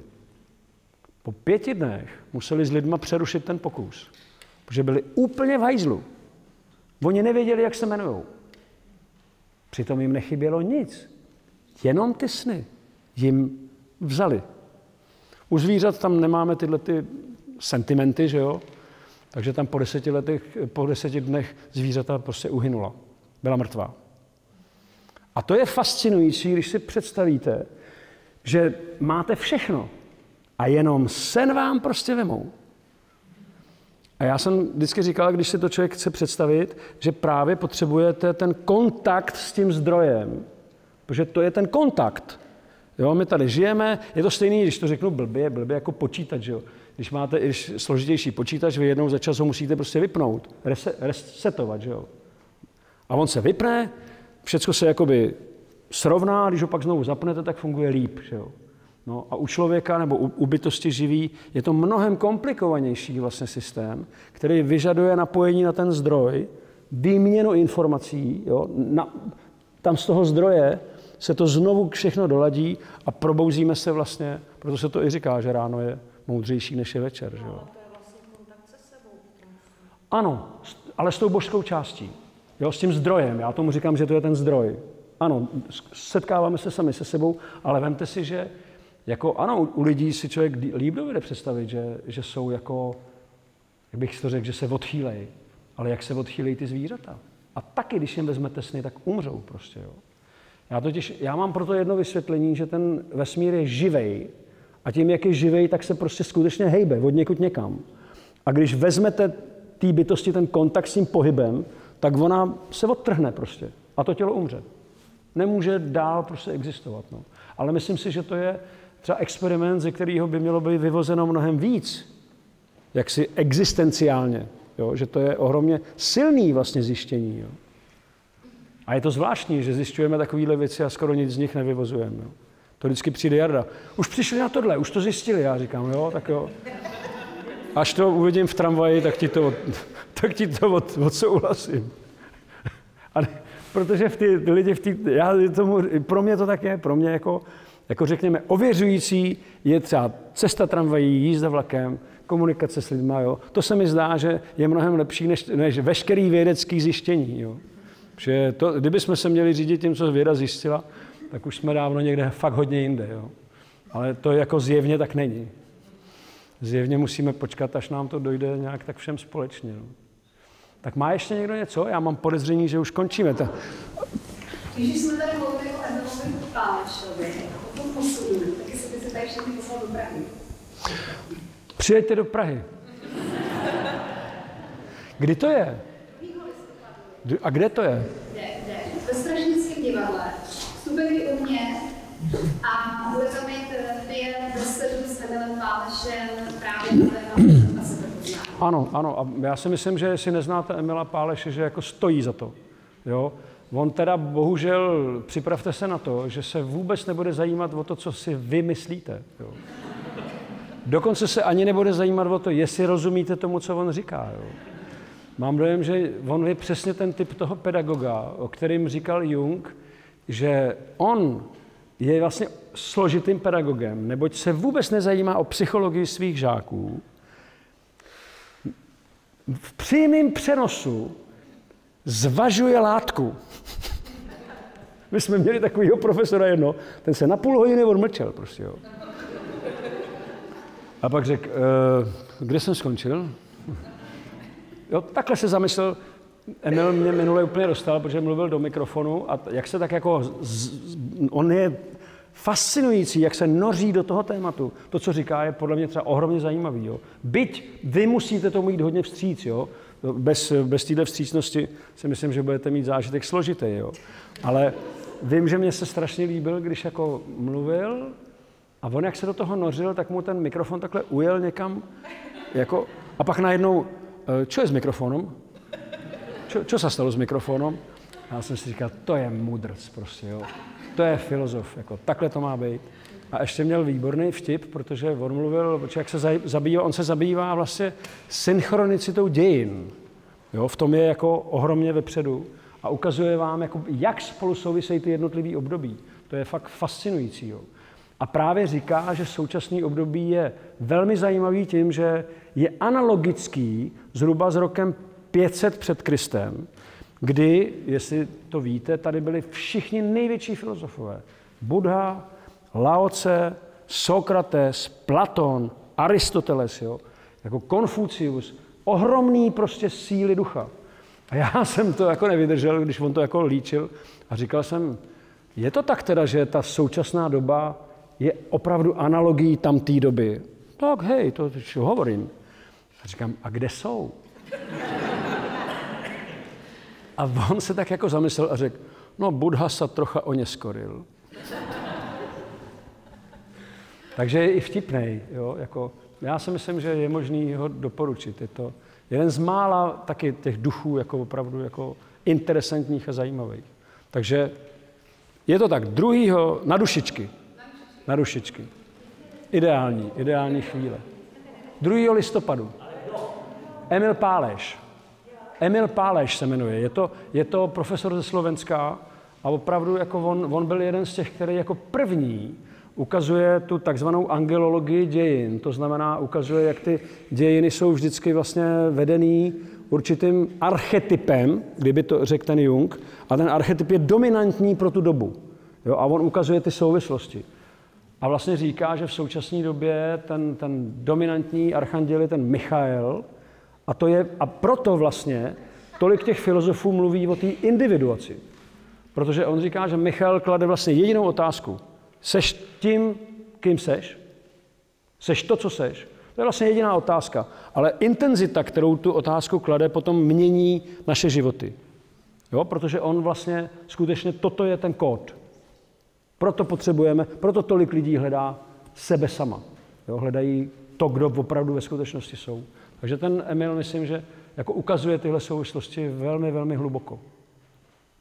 Tak jo? Da, pardon, hned k vás budu. Vy tady máte furt ten mobil. Otázku připravenou a nevím, jestli se úplně dobře zeptám, ale... Máte to nahraný, tak si to pak můžete... Ne, ne. ale teďka je doba taková, jaká je a vlastně spoustu lidí uh, díky tomu jakoby začíná brát, antidepresiva. A, a myslím si, že jsou i jako nad, prostě nad, od, od lékařů nasazovaný velice brzo. A máte nějakou zkušenost, co to dělá s vědomím toho člověka, jestli, jestli já, já, si, já osobně si myslím, že jsou úplně odtržený od reality.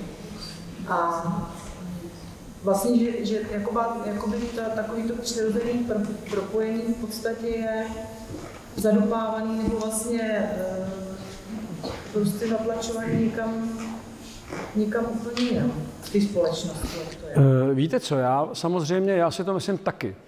Ale to znamená, že ty antidepresiva třeba já osobně bych je nedoporučoval, ale znám poměrně dost případů lidí, kteří mi řekli, kdybych si to včas nevzal, tak jsem se prostě oběsil. A myslím si, že pokud by to mělo překonat tuto hranici, tak radši si berte antidepresiva prostě, jo. Určitě, ale takový jakoby to dlouhodobý braní, několika letý. To je, víte co, no, tak to je každýho věc, jo. Ono, tady, my jsme mluvili dneska, spíš jsme se soustředili na ty progresivní síly v tom prostoru, jo. Jestliže jsou někde progresivní síly, tak nutně s nima jsou nějaké síly v opozici a to jsou síly, které progresivní nejsou vůbec. Jo? Tahají ten vývoj zpátky a nechtějí žádný vývoj. Jo? Pro určitý typ energie tady na té planetě nehybnost je jako velmi kýžená. Takže jako tohle všechno do toho patří. Jo? Ale když se o tom bavíte, za mnou nedávno přišla jedna velmi jako taková osvícenější psychiatrička a říkala, prosím vás, pojďte se se mnou o tom bavit. Já, for, já nevím, co je nevědomí, ale zkoumáme spánek, zkoumáme sny lidí. Jako zajímá nás to, jo? Oni už se o to taky začínají zajímat, protože samozřejmě ani pro toho psychiatra, který zůstal lidskou bytostí, není řešení, že strká lidem prostě prášky, po kterých oni se jako, sice jako stabilizují, ale vlastně ty lidi pak řeknou, že jim není dobře. Jo, že se cítí jako pod, pod plachtou prostě, nebo jako v nějakém skafandru a, a hledají cestu. Ale to, o čem jsem mluvil já, je cesta, která je možná jedna z nejtěžších, protože je to cesta jako přímý konfrontace s tím nevědomím. Jo, kdy člověk si nebere prostředníka. On tam jde prostě přímo do té zkušenosti, je i ohrožený, je prostě, je, je, není to pro ně jednoduchý. Jo. Zatímco když tu, a samozřejmě proto ta, zase jsme u toho mainstreamu, co jsem řekl na začátku. Ta mainstreamová medicína, jo, ta mainstreamová jaksi, jako politika a duše vám řekne, prostě já se blbnete, prostě, jo. v pohodě můžete fungovat, vezmete si prostě antidepresiva a už zase jste funkční. Jako. Ale mnoho lidí vám řekne, já za to děkuju. Ale pak jsou lidi, kteří řeknou, ano, dobře, díky, byla to první pomoc, ale budu hledat cestu, jak žít svobodně protože to, tuhle závislost nechci. Ať si to každý rozhodne sám. Já nechci rozhodně tady vynášet jako paušální, paušální soudy. Jo. Kdy, kdybych neznal tolik lidí, kteří mi řekli, zachránilo mi to život, tak bych řekl, je to prostě kravina. Jo. Ale to, je, to, to, to je, není možný. Musíte vycházet z toho, co ty lidi, jako, co to dává těm lidem. Ale to, že je to past, jako je, myslím, zjevný. No. To je stejný, jako kdyby vám někdo na zlomeninu dal tu sádru a řekl, a teď to budete mít deset let. Nebo dokonce doživotně. Zhruba takhle to asi funguje. Že? Já jsem jsem nebyla tři měsíce, tak jsem se těšila, jak tu aktivní fázi mi určitě pomohly. A, ale pak jsem se snažila, už jsem plánovala, jak no. něco práci cítí, jak to potlačuje mý pocity, který potřebuju si dovolit. A pak jsem furt ještě čekala na to, abych třeba manželovi nedělala starost, protože že to se mnou zažil. A tak jsem je ještě chvilku podbrala kvůli němu, co si říkala, že kurník, ale já nebrát nic. A to musím udělat něco, tak jsme přestali brát prostě jsou, ty psychice má velký výkyvy, ale prostě stojí to za to. No, samozřejmě, no, jo, přesně, to, to, je, to je přesně, co říkáte, no. Takhle to má vlastně většina lidí, jo. Pomůže to, je taková první pomoc, trošku, jako by se řeklo, jedovatá, ale zaplať pámu za to, máš, to není jediná jedovatá věc, která v tomhle prostoru je, jo. Tady spíš hledat něco, co není jedovatý, je docela práce, jo. Ano? K tomu já mám kamaráda, který má somatický problémy, jako problémy s fyzickým zdravím ale doktor mu předepsal antidepresiva, protože mu řekl, že to jsou skrytý jako deprese. Jak je tohle možný? Jak no to... tak jako je to psychosomatický, že jo? Jestli ten doktor je schopný tohleto rozlišit, protože často vám řeknou vlastně, jako je mnoho somatických e, projevů, který působí somaticky, ale přitom jsou psychogenní. Jo, když se tam nenajde žádný nález, tak já, já se pamatuju, že mi říkala jedna kolegyně, že, jo, že měla furt něco s rukou, že nebyla schopná ta ruka jí nějak už úplně odumírala, jo. A prostě ten nějaký trošku vnímavější doktor jí řekl, hejte se, já mě to hloupý vám to říct, ale prostě tam není fyziologický nález. To musí být psychogenní. Uvažovala jste někdy o tom, že byste mohla být trochu hysterická?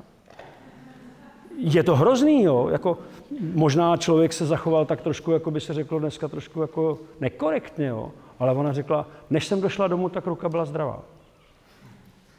Já říkám, a ještě si se dozvěděla něco o hysterii. Jo, takhle to je prostě, jo. Jako, myslím si, že víc a víc začínáme chápat, že duše a tělo, stejně jako duch, jsou prostě jako jednota. Jo? To, to není, jak tam chcete oddělovat jednu věc od druhé. Velmi často zjistíte, že, že prostě fakt vyléčení proběhlo jenom proto, že ten člověk prostě skutečně proměnil způsob svého prožívání. A velmi krátce na to prostě se úplně mu změnil obraz. Já vím, že mě vyprávěl chlap, že mu řekl doktor, máte půl roku života. A on takhle šel do té práce a pak se zastavil a řekl, tak já mám půl roku života a půjdu do práce? Odjel k moři a lehnul si k moři prostě. Ležel u moře a říkal, po třech měsících přišel sen a já jsem věděl, že jsem zdravý. Jdu k tomu stejnému doktorovi a doktor říká, to není možný. Není tam stopa po tom nálezu. Jo, ale prostě, jak, jak chcete oddělit jedno od druhého? Já spíš vždycky, vždycky říkám, pro někoho, někomu duševně pomůže, když se zlepší tělesný stav. Jo, někomu zase tělesně pomůže, když si zlepší duševní stav. Musíte zjistit, jaká je vaše temperatura v tomhle směru. Poznat, jako co komu vyhovuje a co, je, co zase třeba ne. No. Ještě teda, byste k tomu ještě něco chtěl? Já jsem chtěl něco jiného, ale to je čas, teďka, jak se stíneme. Uh, Čas. ale uh, jak jsem mluvil na začátku o té metafyzice, tak mě zajímá, tak mě tomu jako přichází ta projekce. Pokud teda to vnitřní je to, co je venku, tak dobře, chápu, tam třeba ani, OK, ale jak to pak teda z Lidi tam jsou nebo tam nejsou? Nebo si to bylo prostě? Já vám k tomu můžu říct, jediný, co vám za, můžu říct, je moje zkušenost. Já jsem, mně se stalo, že jsem se dostal do jádra skutečnosti. Dostal jsem se tam způsobem pro mě teda kuriózním. Vůbec bych to nečekal. Je to tak dva roky zpátky, ve snu za mnou přišly nějaké bytosti a řekli, jako máme pro tebe, můžeme ti jako pomoct na tvý cestě, ale musíš se nám jako odevzdat. Já mám celkem dobré zkušenosti jako s těma bytostma, jo? tak jsem si říkal, no tak jo, tak to dobrý. A oni mě rozřízli normálně. Jako, jo? Takhle tady na třetí čakře, na dva kusy. Prostě. Teď jsem tam jako ležel, neschopný pohybu, rozříznutý. Nevím, jak se to stalo, ale prostě nějak jsem se dostal skrze tady tohleto do jádra skutečnosti. Vypadalo to tam tak, že tam byla jenom tma a ty předměty, které tam byly, byly tmavší než ta tma okolo. Takže bylo vidět jako dvě, takové, dva takové hroty a na jednom bylo slunce a na druhém byl měsíc. A všechno bylo úplně černý. Ale mentálně tam prostě bylo na všechny, tam nebyly ani už otázky. Tam bylo i tak jasný vědomí, tak jako naprosto zřetelný, že za prvý, musím vám říct, že nejsilnější pocit byl, když jsem se probudil z toho snu, jo. protože mě to přišlo, dneska už to taky mám trochu jinak, ale tenkrát to bylo, musel, měl jsem záchvat smíchu, jo. protože mě to přišlo, že skutečnost je něco jako třeba meloun, jo, nebo taková koule obrovská. A když si potáhnete ji igelitem, tak to je naše realita, hmotná. To je ta iluze. Obalený prostě meloun igelitem. Jo? A ten igelit je to, v čem my tady teďka momentálně jsme a myslíme si, že to je celá realita. Jo? Fakt jsem se musel od srdce smát. Chyba není vůbec možná, protože to je naprostá harmonie. Ale co bylo nejzajímavější, bylo řešeno, tady všechny cesty začínají a tady všechny cesty končí. A lidi, to je ta otázka, kterou vykladete. Všichni lidi, který potkáváš, buď ber jako jednu bytost, jednu bytost, anebo ve skutečnosti neexistují, protože jsou to aspekty tebe. Jo? Ale ono platí obojí zároveň. Ono platí úplně obojí zároveň. Protože aspekty nás jsou to proto, že nikdy nepoznáte realitu toho člověka. Nikdo neví, kde ten druhý se ve skutečnosti nachází. Jo? To je mystérium. Ale pro něj každý člověk reprezentuje určitý aspekt jeho, protože já prožívám člověka nějak. Já ho nějak vidím. Jo, on na mě nějak působí. Jo, jako, proto to tak je. A samozřejmě z určitého jiného pohledu, tedy eh, jako jsme jedna bytost. Jo. A musím říct, že já jsem teda vůbec, kdybych já měl nějakého Junga a mohl jsem s ním tenhle sen konzultovat, tak by mi asi řekl, buď velmi obezřetný ve své další cestě. Jo. A já jsem půl roku na to byl mále mrtvý. Jo. Bylo to strašně zajímavé, ale, ale to vím teď. To jsem předtím teda netušil. Jo? Ale je to tak, jo? když se dostáváte do těch úrovní, tak ty úrovně prostě jsou o životě nebo neživotě. Jo? Jako, protože jste na té hraně, té fyzické existence. Teď už to vím lépe. Předtím jsem se tak jako usmíval a říkal si, to je teda paráda. No. Jak je to vtipný. A ještě bylo výborný, já mám kamaráda, to je znamení Beran, a my spolu jezdíme na, na kolech po, po republiky, kolem těch hranic. A tenkrát jsme zrovna na, na týden jako jeli. Jo. A já jsem byl takový, cítil jsem ohromný mír v sobě. A čtvrtý den on mi řekl, stalo se, ti, stalo se ti něco? A já říkám, jak to jako myslíš? A on říkal, ta tvoje smířlivost mě začíná fakt srát. A já jsem mu to teda vysvětlil, jo, co se mi jako stalo. On tak jako koukal, nevím, co si o tom myslel. Ale jo, jako je, je to, toto je, jako znovu to říkám, jo, když se dostáváte do těchto těch úrovní, tak to není jen tak, jo, není to žádná jako hra. Je to docela hustý. Ale víte co, já jsem chtěl ukončit to takovým vtipem, ani nevím teďka, jestli to je úplně na místě, ale já ho stejně řeknu. Možná, že už jsem ho říkal, ale když jsme tady mluvíme o tom, že jsou tady síly, které jsou progresivní a zároveň síly, které jsou jako, řekněme, konzervativní nebo stahují ten vývoj zase zpátky, tak jsem si přitom vzpomněl, že ty Češi jsou takový jako hodně specifický národ. Dneska cestou sem jsme se o tom bavili, že znovu se vlastně objevuje ten humor. Jo. Je zase zlé. Je zase tak zlé, že Češi už se začínají smát. Jako jo. A což je jako, což je vždycky dobře. Jo. Já si myslím, že, že my opravdu, to je jako, v tom je naše největší síla, jo, že najednou se začneme smát tam, kde všichni ostatní berou do ruky prostě klacky a jdou do boje, tak Češi prostě mají záchvaty smíchu, že jo. A já jsem si, já jsem si vzpomněl na ten vtip, který znám už jako, jako dítě, se mi hrozně líbil. Jak takový trpaslíček je v, v, v Moskvě na Rudém náměstí, má takovou lucerničku. A chodí tam po tom náměstí, zastaví ho milicionář a říká, trpaslíčku, co tady jako děláš? Jo? On, já bych chtěl bych si posvítit na zloděje. Tady zloději, kde by se tady vzali zloději? Víš, do Ameriky, ne? tam jako do Washingtonu, tam je mraky zlodějů. Tak chodí tam po Washingtonu se s lucerničkou. Zastaví ho policajt, říká, co je děláš jako trpaslíčku? Rád bych si posvítil na nějaký zloděje. Tady, kde by se tady vzali zloději. Jdi do Prahy na Václavák. Jako. No tak on jde, že ho, chodí s lucerničkou po Václaváku, zastaví ho policajt, říká, trpaslíčko, jako co tady jako děláš? A trpaslíček, já jsem někde tady měl lucerničku. To se krásně.